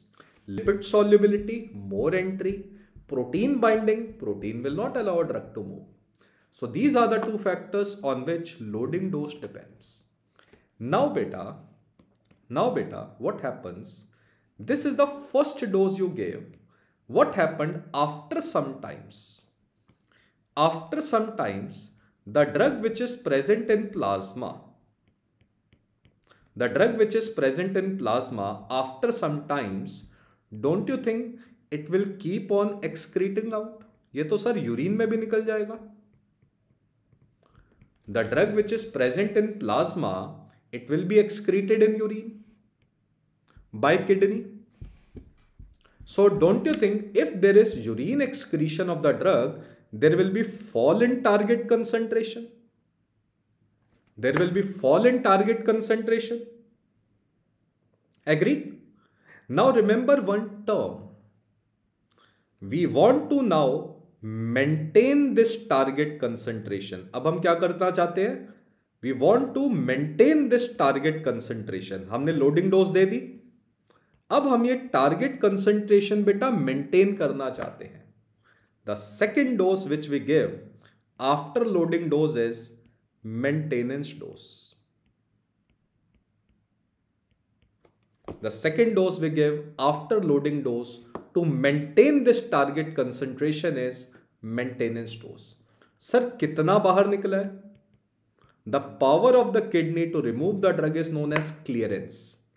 The power of the kidney to remove the drug or excrete the drug is known as clearance. And now can you tell me on which two factors maintenance dose depends sir जितना drug बाहर निकल रहा है उतना बाहर से दे दो मेंटेन रहेगी कंसंट्रेशन जितना ड्रग बाहर से निकल रहा है उतना बाहर से दे दो है ना मेंटेनेंस डोज क्या होती है जितना ड्रग बाहर निकलता है बाहर से और दे दो जितना बाहर से निकल रहा है और दे दो मेंटेन रहेगी can you tell me two factors on which maintenance dose depends maintenance dose का फॉर्मूला होता है बेटा clearance into target concentration maintenance dose depends upon clearance into target concentration can you tell me the formula of loading dose now the formula of loading dose is V D into C L formula of maintenance dose is clearance into target concentration loading dose volume of distribution into target concentration and volume of distribution depends upon lipid solubility and plasma protein binding maintenance dose का formula जितना बाहर निकल रहा है उतना और दे दो मेंटेन रहेगी target concentration so it depends upon कितना बाहर निकल रहा है clearance multiplied by target concentration now tell me बेटा क्या आपको एक कंसेप्ट समझ आ गया किस बच्चे को ये बात नहीं समझ आई सबको समझ आ गई ये बात क्लियर इनफ मज़ा आ गया मुझे भी मज़ा आ गया आपको पढ़ा के ठीक है मज़ा आया बहुत सिंपल सी चीज़ है ना चलो गुड कभी भूलना नहीं है let's talk about a 53 year old man with hypertension complains of worsening of post prandial epigastric pain dyspepsia over two weeks unresponsive to antacids the doctor prescribed omeprazole चलो एक और पीपीआई आ गया proton pump inhibitor any drug ends with the word prazole is a proton pump inhibitor PPI का काम होता है H को स्टमक में कम करना ठीक है what is the potential long term effect of proton pump inhibitor what is the potential long term adverse effect of PPI anyone लिखेंगे PPIs are given in the treatment of Zollinger-Ellison syndrome. They are given in the treatment of any type of ulcer. And these two are the side effects of proton pump inhibitor. So remember answer is C as well as D. Both are correct answer but we will go with the answer number C because it has higher risk. Spontaneous bacterial peritonitis में आपको बताऊंगा क्या चीज है very less risk but PPI का यह भी side effect होता है spontaneous bacterial peritonitis okay understood let's understand by PPI PPI क्या है PPI stand for proton pump inhibitor chemistry में बेटा हम H प्लस आयन को क्या बोलते थे If you remember 11th, 12th chemistry, H plus ion is known as proton. So PPI, they inhibit which transporter? They inhibit hydrogen, potassium, ATPase. Because H plus in chemistry, we call it as proton. So these are proton pump inhibitors. They decrease HCl production in stomach by inhibiting this transporter. They are the drug of choice nowadays everywhere हर जगह drug of choice बन चुके हैं PPI ठीक है देखते हैं ठीक है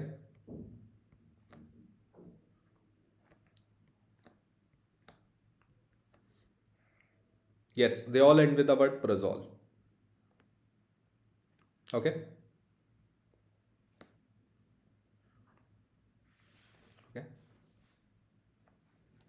Now PPI, they are the drug of choice for any types of peptic ulcer, any type of peptic ulcer. The three, two, three important causes of peptic ulcer is first is NSAID induced. Non-steroidal anti-inflammatory drug like aspirin, they can cause peptic ulcer. And the second most important cause of peptic ulcer is, very important cause of peptic ulcer is, is a bacteria H. pylori. In both cases, the drug of choice for peptic ulcer is proton pump inhibitor. They are also the drug of choice for aspiration pneumonia. Because if stomach content goes to the lung, problem. They are also the drug of choice for Zollinger-Ellison syndrome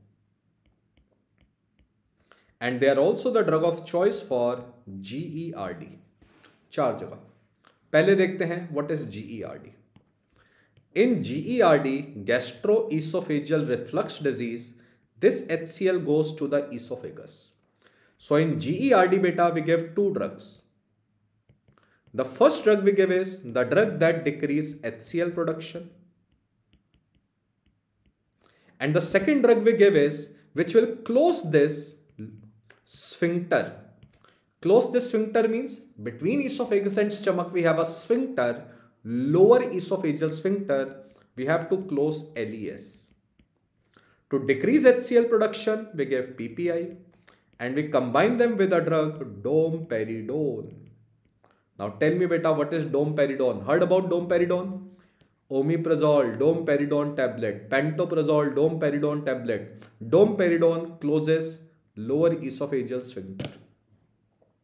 Very good. Zollinger Ellison syndrome. Let's talk about this. So this is also known as gastrinoma. What happens in Zollinger Ellison? There is increase in gastrin level. And this increase in gastrin increases HCl production. Do you agree? This is what happens in Zollinger Ellison syndrome. In Zollinger-Ellison syndrome, we have to give two drugs. First, to decrease HCl production, PPI. And PPI are combined with a drug, octreotide. Octreotide क्या करता है बेटा gastrin का production कम कर देता है it is a somatostatin hormone which reduce the production of gastrin so this is the treatment of Zollinger Ellison syndrome very good let's talk about the side effects of PPI. Very interesting. Now beta side effects of PPI comes because of chronic or long term HCl suppression. हमारी body में HCl नहीं है stomach में sir अगर HCl नहीं होगा the first thing which happens is there are certain ions which will not get absorbed. So there will be deficiency of minerals and vitamins. क्योंकि H नहीं है तो डेफिशिएंसी हो जाएगी iron calcium they will not get absorb properly second thing sir H हमें bacteria से बचाता है H Protects us from infection it's a part of immunity of our body there will be increase risk of infections with PPI and certain miscellaneous side effects I will be telling you. Now which deficiency happens लिखेंगे iron, calcium, magnesium and B12. किन किन iron किन किन minerals और vitamin की deficiency होती है iron calcium magnesium B twelve that is why PPI causes iron deficiency anaemia because of calcium deficiency PPIs can cause osteoporosis osteoporosis में bones जो होंगी वीक हो जाएंगी फ्रैक्चर हो जाएगा it also causes hypomagnesaemia blood में मैग्नीशियम कम and megaloblastic anaemia now बेटा one question of I I N C E T among iron calcium magnesium and B twelve what is least seen सबसे कम क्या देखा गया है the risk which is least seen is this one this is a very rare side effect this is a very rare side effect of PPI as compare to other side effect What? Increase in the risk of infection. CCF, CCS. First,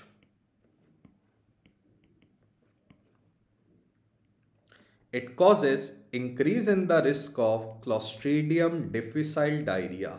ये harmful bacteria grow कर जाता है HCl protects us from lungs infection also क्योंकि continuously mouth में आता है HCl. PPIs they increase the risk of community acquired pneumonia and they increase the risk of spontaneous bacterial peritonitis GIT में infection और perforation हो गई bacteria की among them which is least seen rare is spontaneous bacterial peritonitis but it is seen with PPI miscellaneous side effect.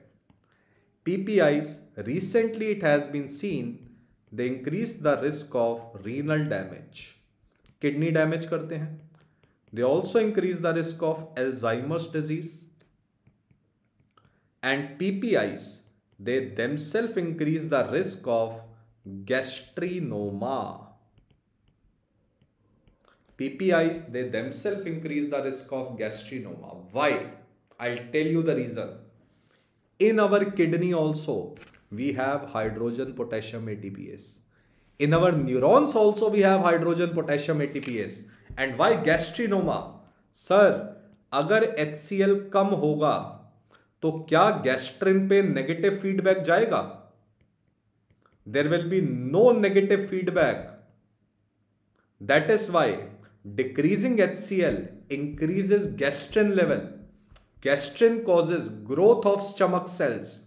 Hence, a rare side effect due to gastrinoma is gastric polyp. छोटे छोटे polyps बन जाएंगे stomach में because of gastric polyp क्या बन जाएंगे polyp एक minute के लिए आपको दिखा देता हूं पॉलिप दिख रहा है so these are the other side effects of PPI this is the complete list of the side effect fine yes बेटा Let's talk about which of the following is a property of bidaquiline bidaquiline bidaquiline bidaquiline is a mycobacterial ATP synthase inhibitor. True. It does not prolong QT interval. False. It should be given alone. do you think हम tb में कोई भी drug single देते हैं in tb we always give combination of drug no drug is given alone It shows cross resistance with rifampicin, false. It shows cross resistance with a drug known as clofazimine. It shows a cross resistance with clofazimine. So let me tell you about a very important drug, bidaculin. Bidaculin.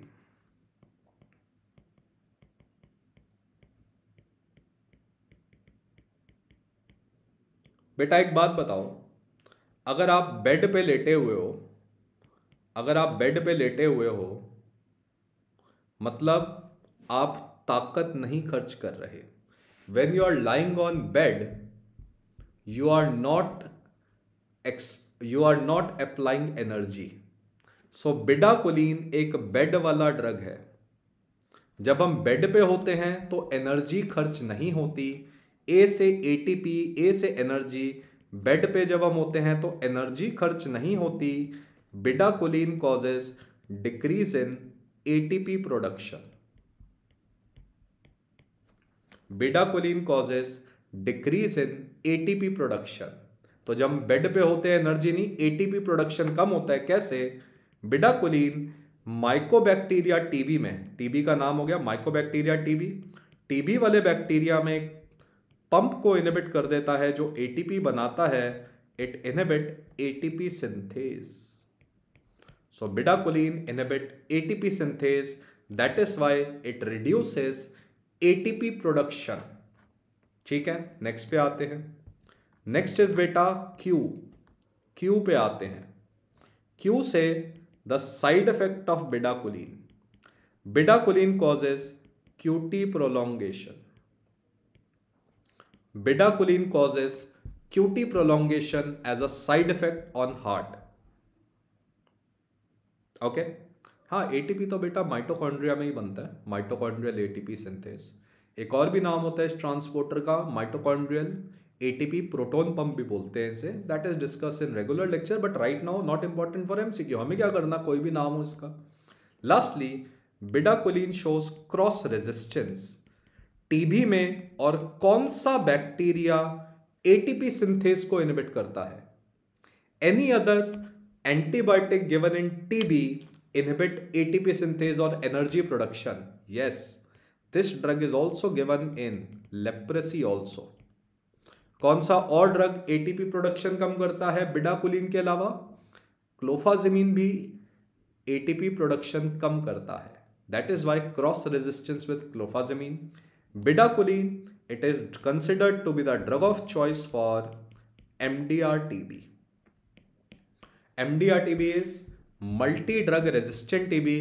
multi drug resistant T B में we give treatment with many drugs we give treatments with many drug but the main four three drugs which we give in the treatment of M D R T B we give in combination B for bedaquiline BEL word याद रखना है सबसे ज़्यादा effective कौन से drug हैं M D R T में bedaquiline linezolid और लीवोफ्लॉक्सैसिन तीन सबसे ज़्यादा इफेक्टिव ड्रग कौन से हैं एम डी आर टी में बेल वर्ड याद रखना है बेल का मतलब बिडाकुलिन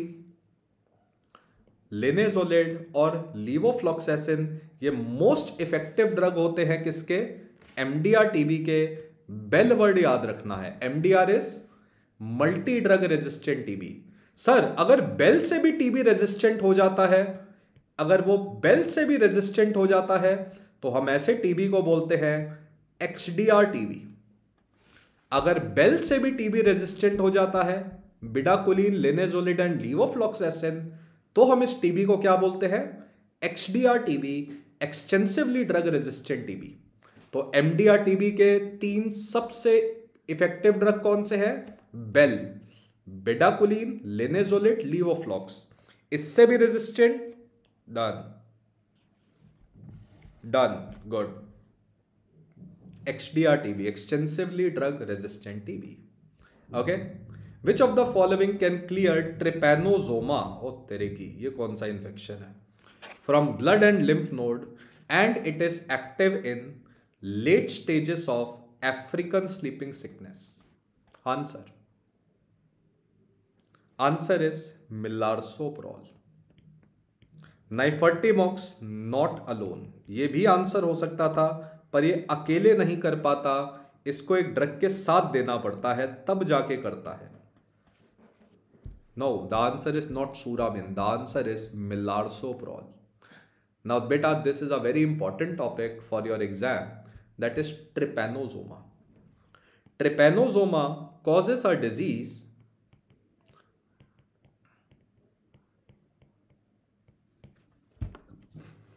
sleeping sickness. It is caused by trypanosoma brucei.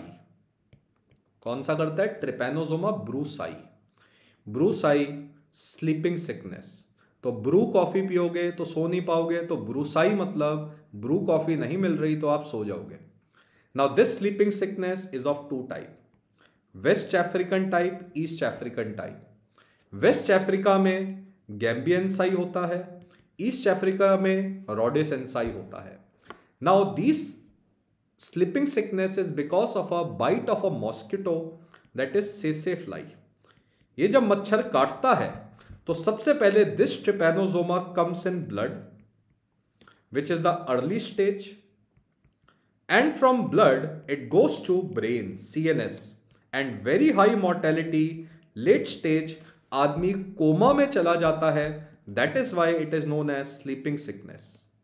That is why known as sleeping sickness. samajh gaye baat achhi lagi kahani bahut achhi baat let's see the treatment for west african type early stage the drug is pentamidine. And in early stage of East African type, suramin. तो बेटा suramin जिस बच्चे ने कहा suramin बेटा early stage पे देते हैं पेंटामिडिन और सूरामिन अर्ली स्टेज पे देते हैं late stage of West African type nifurtimox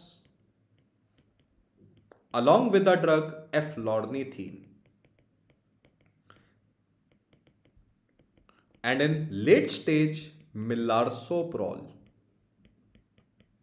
late stage melarsoprol now the question is having both nifurtimox word and melarsoprol दोनों दिए हुए थे लेट स्टेज में आप जाओगे मिलार्सोप्रॉल के साथ the reason is melarsoprol it is alone effective in late stage of trypanosoma nifurtimox अकेले काम नहीं कर पाता ठीक है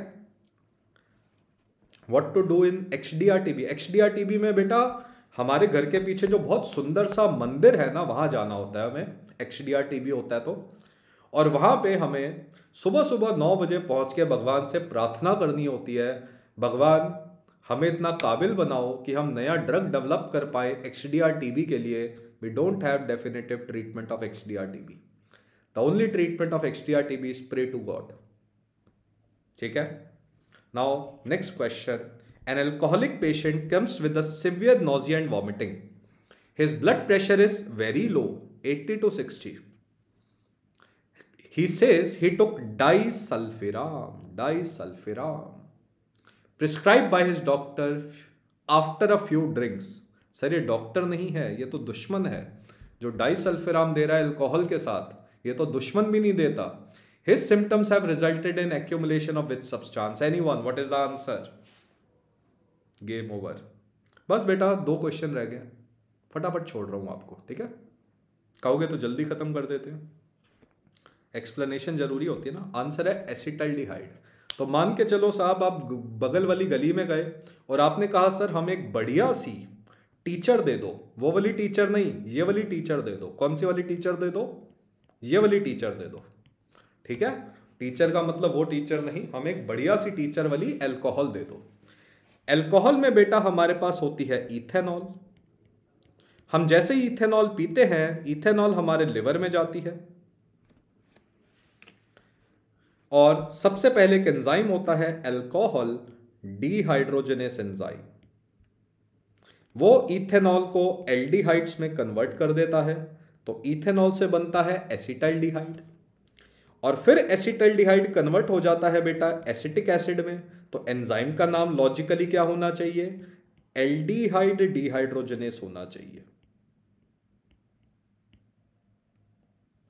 एल्डिहाइड डिहाइड्रोजेनेस होना चाहिए अब बेटा just focus on these two word पहला एंजाइम का नाम क्या है एल्कोहल डिहाइड्रोजेनेस दूसरा क्या है aldehyde dehydrogenase any drug which inhibit this enzyme alcohol वाला एल्कोहल में ओवर्ड आ रहा है एल्कोहल में ओवर्ड आ रहा है इस ड्रग में भी ओवर्ड आएगा फोमीपिजॉल इस ड्रग में भी क्या वर्ड आएगा फोमीपिजॉल सर एल्डिहाइड में ओ वर्ड नहीं आ रहा एल्डिहाइड में तो सर डी वर्ड आ रहा है एल्डिहाइड में ओ वर्ड नहीं आ रहा एल्डिहाइड में तो डी वर्ड आ रहा है तो एल्डिहाइड वाला ड्रग होता है डाइसल्फिराम तो disulfiram D aldehyde fomepizole inhibit alcohol अब बेटा फोमीपिजोल हम इथेनॉल में नहीं देते fomepizole is an antidote for the treatment of harmful alcohol जो पी ली तो आपकी पार्टी खराब हो जाएगी methanol and ethylene glycol poisoning में देते हैं ये टॉक्सिक एल्कोहल की पॉइजनिंग में देते हैं ठीक है तो फोमीपिजोल बेटा किस में देते हैं हार्मफुल एल्कोहल में देते हैं मिथेनॉल और इथाइलिन ग्लाइकोल पॉइजनिंग की एंटीडोट क्या होती है फोमीपिजॉल होती है बचा क्या डाई सल्फेराम ढाई बज गए दारू पीने का टाइम आ गया तो डाई सल्फेराम ढाई बजे वाला हम इथेनॉल में देते हैं नाउ टेल मी अगर हमने डाई सल्फेराम दिया डाई सल्फेराम पीने के बाद अगर आदमी ने दारू पी टीचर्स पी तो क्या चीज एक्यूमुलेट हो जाएगी बॉडी में एसिटल डिहाइड एक्यूमुलेट हो जाएगा if a person is on sulfiram and consumes ethanol acetaldehyde will accumulate because acetaldehyde will not be converted into acetal acetic acid so sulfiram अगर एक आदमी पीता है inside the body acetaldehyde will accumulate now बेटा this acetaldehyde produce harmful symptom अब दारू मजा नहीं दारू सजा बन जाएगी तो डाइसल्फिराम दारू का मज़ा ख़त्म कर देता है दारू को सजा बना देता है because this dehyde is very harmful it causes nausea and vomiting it causes abdominal pain and chest pain और कई बार तो आदमी को हाइपोटेंशन होती है और वो परमात्मा से मिल जाता है बहुत ही जल्दी because disulfiram causes hypotension and death Okay. So my question is, would you like to prescribe disulfiram in a patient who is actively drinking alcohol और भी बहुत सिम्टम्स होते हैं चेस्ट पेन बेटा पेल्पिटेशन से ही होता है would you like to prescribe disulfiram in a patient who is actively drinking alcohol गलती से भी नहीं देना disulfiram is absolutely contraindicated in a person who is actively drinking alcohol and here comes a very important point there is a drug which shows disulfiram like reaction एक drug है जो disulfiram like reaction करता है उसका नाम है metronidazole would you like to give metronidazole which shows disulfiram like reaction in a patient who is actively drinking alcohol नहीं sir metronidazole दोगे तो क्या होगा मेट्रो में ये आदमी लुढ़क जाएगा मतलब दारू सजा नहीं सॉरी दारू मजा नहीं सजा बन जाएगी समझ गए बात good last question of the day last question of the day after that we will say bye bye but very interesting question let's see थोड़ा सा मैं जूम कर देता हूँ A 46 year old male presented to the clinic with the complaints of pain and swelling in one leg below the calf upon physical examination काम की बात पे आते हैं a diagnosis of deep venous thrombosis है बेटा पेशेंट को एक एंटीकॉगुलेंट ड्रग स्टार्ट किया था हमने for the management of DVT DVT में फिब्रिन डिपॉजिट हो जाता है anticoagulant drug they prevent fibrin deposition but बाद में क्या हुआ later the patient exhibited this feature patient को सर जब ड्रग स्टार्ट किया तो उसको क्या हो गया उसके आप देख रहे हो उसको कुछ ड्राई गैंग्रीन हो गया तो अब बात आती है ऐसा कौन सा एंटीकॉगुलेंट ड्रग है जो स्टार्ट करोगे डीवीटी को ठीक नहीं करेगा और स्किन डैमेज कर देगा the answer is for this question is options options चलो अभी दो ही दिख रहे हैं इन्हीं दो में से मार्क कर दो पहला ऑप्शन है वॉरफरिन दूसरा है heparin The answer is warfarin. I'll tell you the reason. Small reason, very interesting. ऐसा कौन सा ड्रग है जो स्किन डैमेज कर देगा warfarin let's see what does it mean नहीं बेटा ये पर्पल टो सिंड्रोम नहीं है इसीलिए कहता हूँ सीधा कोई भी चीज़ नहीं रटनी सीधा रटोगे फोलिस कैथेटर नीचे से डालना होता है हम ऊपर से डाल देंगे प्रॉब्लम ये हो जाएगी अगर हम सीधा रटेंगे तो रिमेंबर वॉरफरिन एक एंटी कॉगुलेंट ड्रग है पहले समझ लो फिर मैं आपको बाद में बताऊंगा ये पर्पल टो सिंड्रोम क्या चीज़ है वो अलग चीज़ होती है डोंट कंफ्यूज ठीक है अभी बहुत गलतियां करनी है एग्जाम से पहले पर एग्जाम में गलती नहीं करनी देखो बेटा वॉरफरिन एक एंटी कॉगुलेंट ड्रग है and warfarin inhibit vitamin K in liver vitamin warfarin का काम क्या होता है विटामिन के को ब्लॉक करना लिवर में ये एक एंजाइम को ब्लॉक करता है if you are very interested I will tell you later on एक एंजाइम को ब्लॉक करता है लिवर में V K O R C one enzyme full form बाद में देखेंगे बट बेटा होगा क्या इससे इस पर फोकस करते हैं if vitamin warfarin inhibits V K O R C one enzyme what will happen sir because of inhibition of vitamin K there will be deficiency of clotting factors there will be deficiency of clotting factors.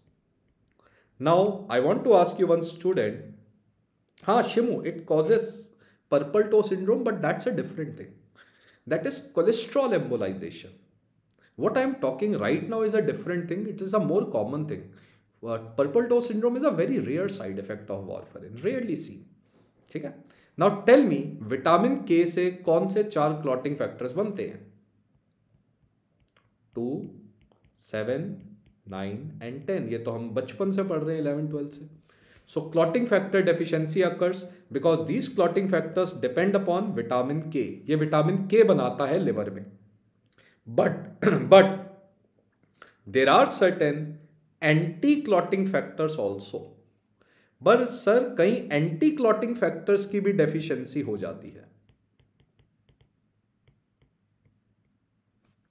there will be deficiency of certain anti-clotting factor. Two anti-clotting factors synthesized from vitamin K is protein C and protein S ये भी कम हो जाएगा ये भी कम हो जाएगा ठीक है बेटा now let's see what will happen तो वॉरफरिन ने तो इतनी सारी चीजें कम कर दी हैं तो देखिए पहले क्या कम होगा बाद में क्या कम होगा ठीक है let's see when we will give warfarin which factor is reduced first which factor is reduced first so the first factor that gets reduce is clotting factor seven सबसे पहले क्या कम होता है सबसे पहले किसकी डेफिशिएंसी होती है क्लॉटिंग फैक्टर सेवन उसके बाद सर प्रोटीन सी उसके बाद सर लास्ट में लास्ट में किसकी डेफिशिएंसी होती है फैक्टर फाइव की लास्ट में किसकी डेफिशिएंसी होती है फैक्टर फाइव की फर्स्ट डेफिशिएंसी किसकी होती है फैक्टर सेवन की ठीक है बीच में ही प्रोटीन एस भी लिख दो नाउ सर क्लॉटिंग फैक्टर्स कब कम होते हैं सॉरी बेटा फाइव नहीं है टू है गलती से लिख दिया यार फाइव तो कुछ होता ही नहीं ठीक है factor two now sir it happens in five days कितने दिन में होती है now the question is anti coagulant effect of warfarin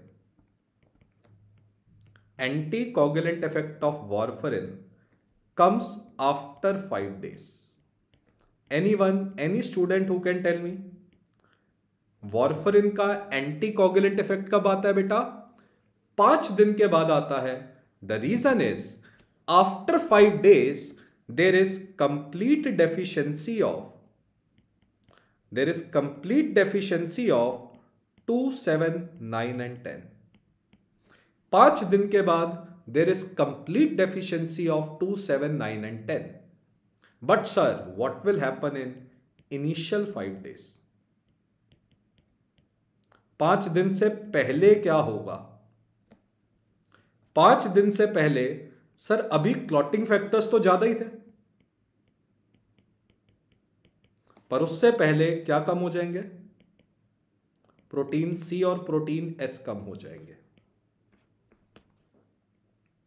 this will happen in initial five days अभी पूरी तरीके से क्लॉटिंग फैक्टर कम नहीं हुए थे उससे पहले क्या कम हो गए बेटा उससे पहले एंटी क्लॉटिंग फैक्टर कम हो गए तो मुझे बताओ clotting factor anti clotting factor anti clotting factor कम हो गए प्रोटीन सी और एस डेफिशिएंसी हो गई don't you think in initial five days in initial five days warfarin rather increase coagulation पहले पांच दिन में because of deficiency of protein C and S warfarin rather increase coagulation warfarin क्या कर देता है पहले पांच दिन में कोगुलेशन को बढ़ा देता है क्योंकि अभी 279 कम नहीं हुए थे उससे पहले ही एंटी क्लॉटिंग फैक्टर कम हो गए प्रोटीन सी और एस मेरा आपसे एक पहला सवाल can you use warfarin warfarin का एंटी कॉगुलेंट इफेक्ट पांच दिन के बाद आता है आप आज वॉरफरिन स्टार्ट करो पांच दिन के बाद उसका एंटी कॉगुलेंट इफेक्ट आएगा हम वॉरफरिन को इमरजेंसी में नहीं देते और इनिशियल पांच दिन वॉरफरिन से कॉगुलेशन बढ़ जाती है and this is known as increase coagulation due to warfarin in initial five days is known as dermal vascular necrosis this is known as dermal vascular necrosis which occurs in initial five days due to deficiency of protein C and protein S so what will happen small small blood vessels of the skin will become blocked skin की छोटी छोटी blood vessel block हो जाती है because there is increase in coagulation with warfarin in initial five days in initial five days warfarin से coagulation बढ़ जाती है ब्लड वेसल ब्लॉक हो जाती है स्किन की which manifest as dermal vascular necrosis so the point is कैसे prevent किया जाए दैट इज वाई बेटा for initial five days for initial five days हम हेपेरिन और वॉरफरिन इकट्ठे देते हैं वॉरफरिन दे रहे हो उसके साथ हेपेरिन के इंजेक्शंस देंगे पांच दिन तक after five days I will stop heparin and I will continue with warfarin. Okay. So whenever you are starting warfarin in your patient for five days to prevent this coagulation gives combination with give combination with heparin. अच्छा एक बच्चा कह रहा है purple toe syndrome चलो purple toe syndrome भी बता देता हूं देखो बेटा what happens purple toe syndrome में क्या होता है दिस कोलेस्ट्रॉल जो एथरोस्क्लेरोसिस होती है ना नीचे एथरोस्क्लेरोसिस होती है इसमें कोलेस्ट्रॉल होता है ये जो कोलेस्ट्रॉल होता है ये छोटा सा टूट जाता है this is cholesterol embolization and this small cholesterol it blocks the small blood vessels of toe ये छोटा सा जो कोलेस्ट्रॉल है ये टो की ब्लड वेसल को ब्लॉक कर देता है बहुत ही रेयर साइड इफेक्ट है लाखों में से एक लोग को होता है कोई नहीं पूछने वाला आपसे बस हाइप बनाने के लिए बनाया हुआ है purple toe syndrome purple glove syndrome purple man syndrome वो हमने भी पढ़ाया हुआ है but don't worry nobody is going to ask you होता ही बहुत रेयर है ठीक है and I hope this is finished आज का मुद्दा हो गया हमारा ख़त्म I hope you enjoyed like I enjoyed a lot ठीक है ठीक है बेटा फिनिश करें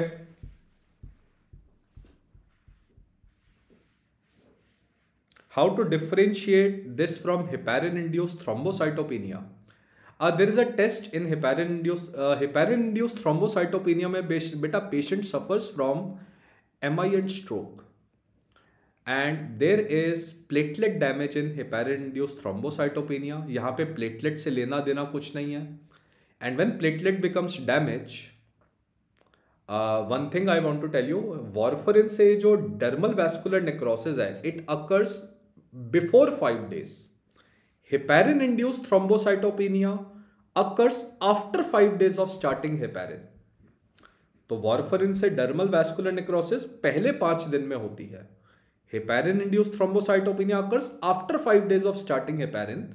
It is because of allergic reaction or hypersensitivity and antibody production takes 5 days actually.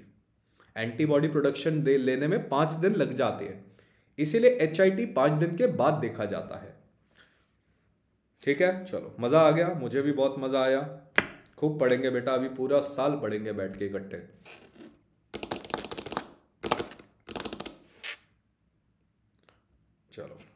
if you still have any doubt बेटा you can ask me on PrepLadder official group I will be very happy to answer and we will have lot of chit chats happy Holi to every one enjoy your Holi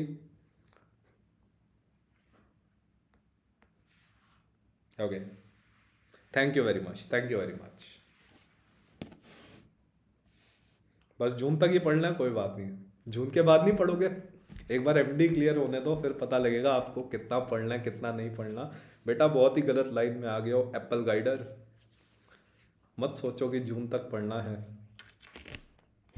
ठीक है इतनी किताबें होंगी Apple जी कई बार तो अपनी wife का नाम भूल जाओगे यार डोंट वरी बहुत पढ़ना है और अच्छे से पढ़ना है सारी ज़िंदगी पढ़ना है डॉक्टर को हमेशा पढ़ना होता है ठीक है जो डॉक्टर नहीं पढ़ रहा वो अच्छा डॉक्टर नहीं है वो अच्छा टीचर नहीं है आपको हमेशा पढ़ते रहना है ठीक है ये मत सोचिए कि हमें जून तक पढ़ना है हाँ हमारा पढ़ने का तरीका बदल जाएगा हम थोड़ा रिलैक्स होकर पढ़ेंगे अपने मस्ती के लिए पढ़ेंगे ऐसे क्रैम नहीं करेंगे चीज़ें पर ये नहीं सोचता क्योंकि बेटा पेशेंट की लाइफ आपके हाथ में है और आप हमेशा तैयार रहने चाहिए आपने कभी नहीं कहना कि आपको हमें हमेशा पढ़ना है है ना Apple ji Do you agree with my words or not? The more you will learn जितना पढ़ोगे ना उतना पता लगेगा कि हमें कुछ नहीं आता जीवन में जितना पढ़ोगे उतना रियलाइज करोगे कि हमें सही में हम बहुत ही इस ग्रैंड स्कीम ऑफ यूनिवर्स में कुछ भी नहीं है so keep on learning so that you broaden your horizons broaden your philosophical aspects also in your life by reading you will have different perspective you will learn different perspectives in life also कि जीवन है ना so don't worry ऐसे मत सोचो नहीं पढ़ना बहुत मस्ती में पढ़ना और अच्छे से पढ़ना है दिल लगा के पढ़ना है जब स्ट्रेस लगे तब मत पढ़ना बिल्कुल नहीं पर पढ़ना ज़रूर है जब स्ट्रेस हो जाए तब मत पढ़ना कोई बात नहीं यार क्या हो गया दो दिन नहीं पढ़ाएंगे पढ़ेंगे तीन दिन नहीं पढ़ेंगे कोई बात नहीं पर पढ़ना हमेशा है पूरी ज़िंदगी ठीक है चलिए so will end our session it's already nine thank you very much best wishes enjoy your day enjoy your Holi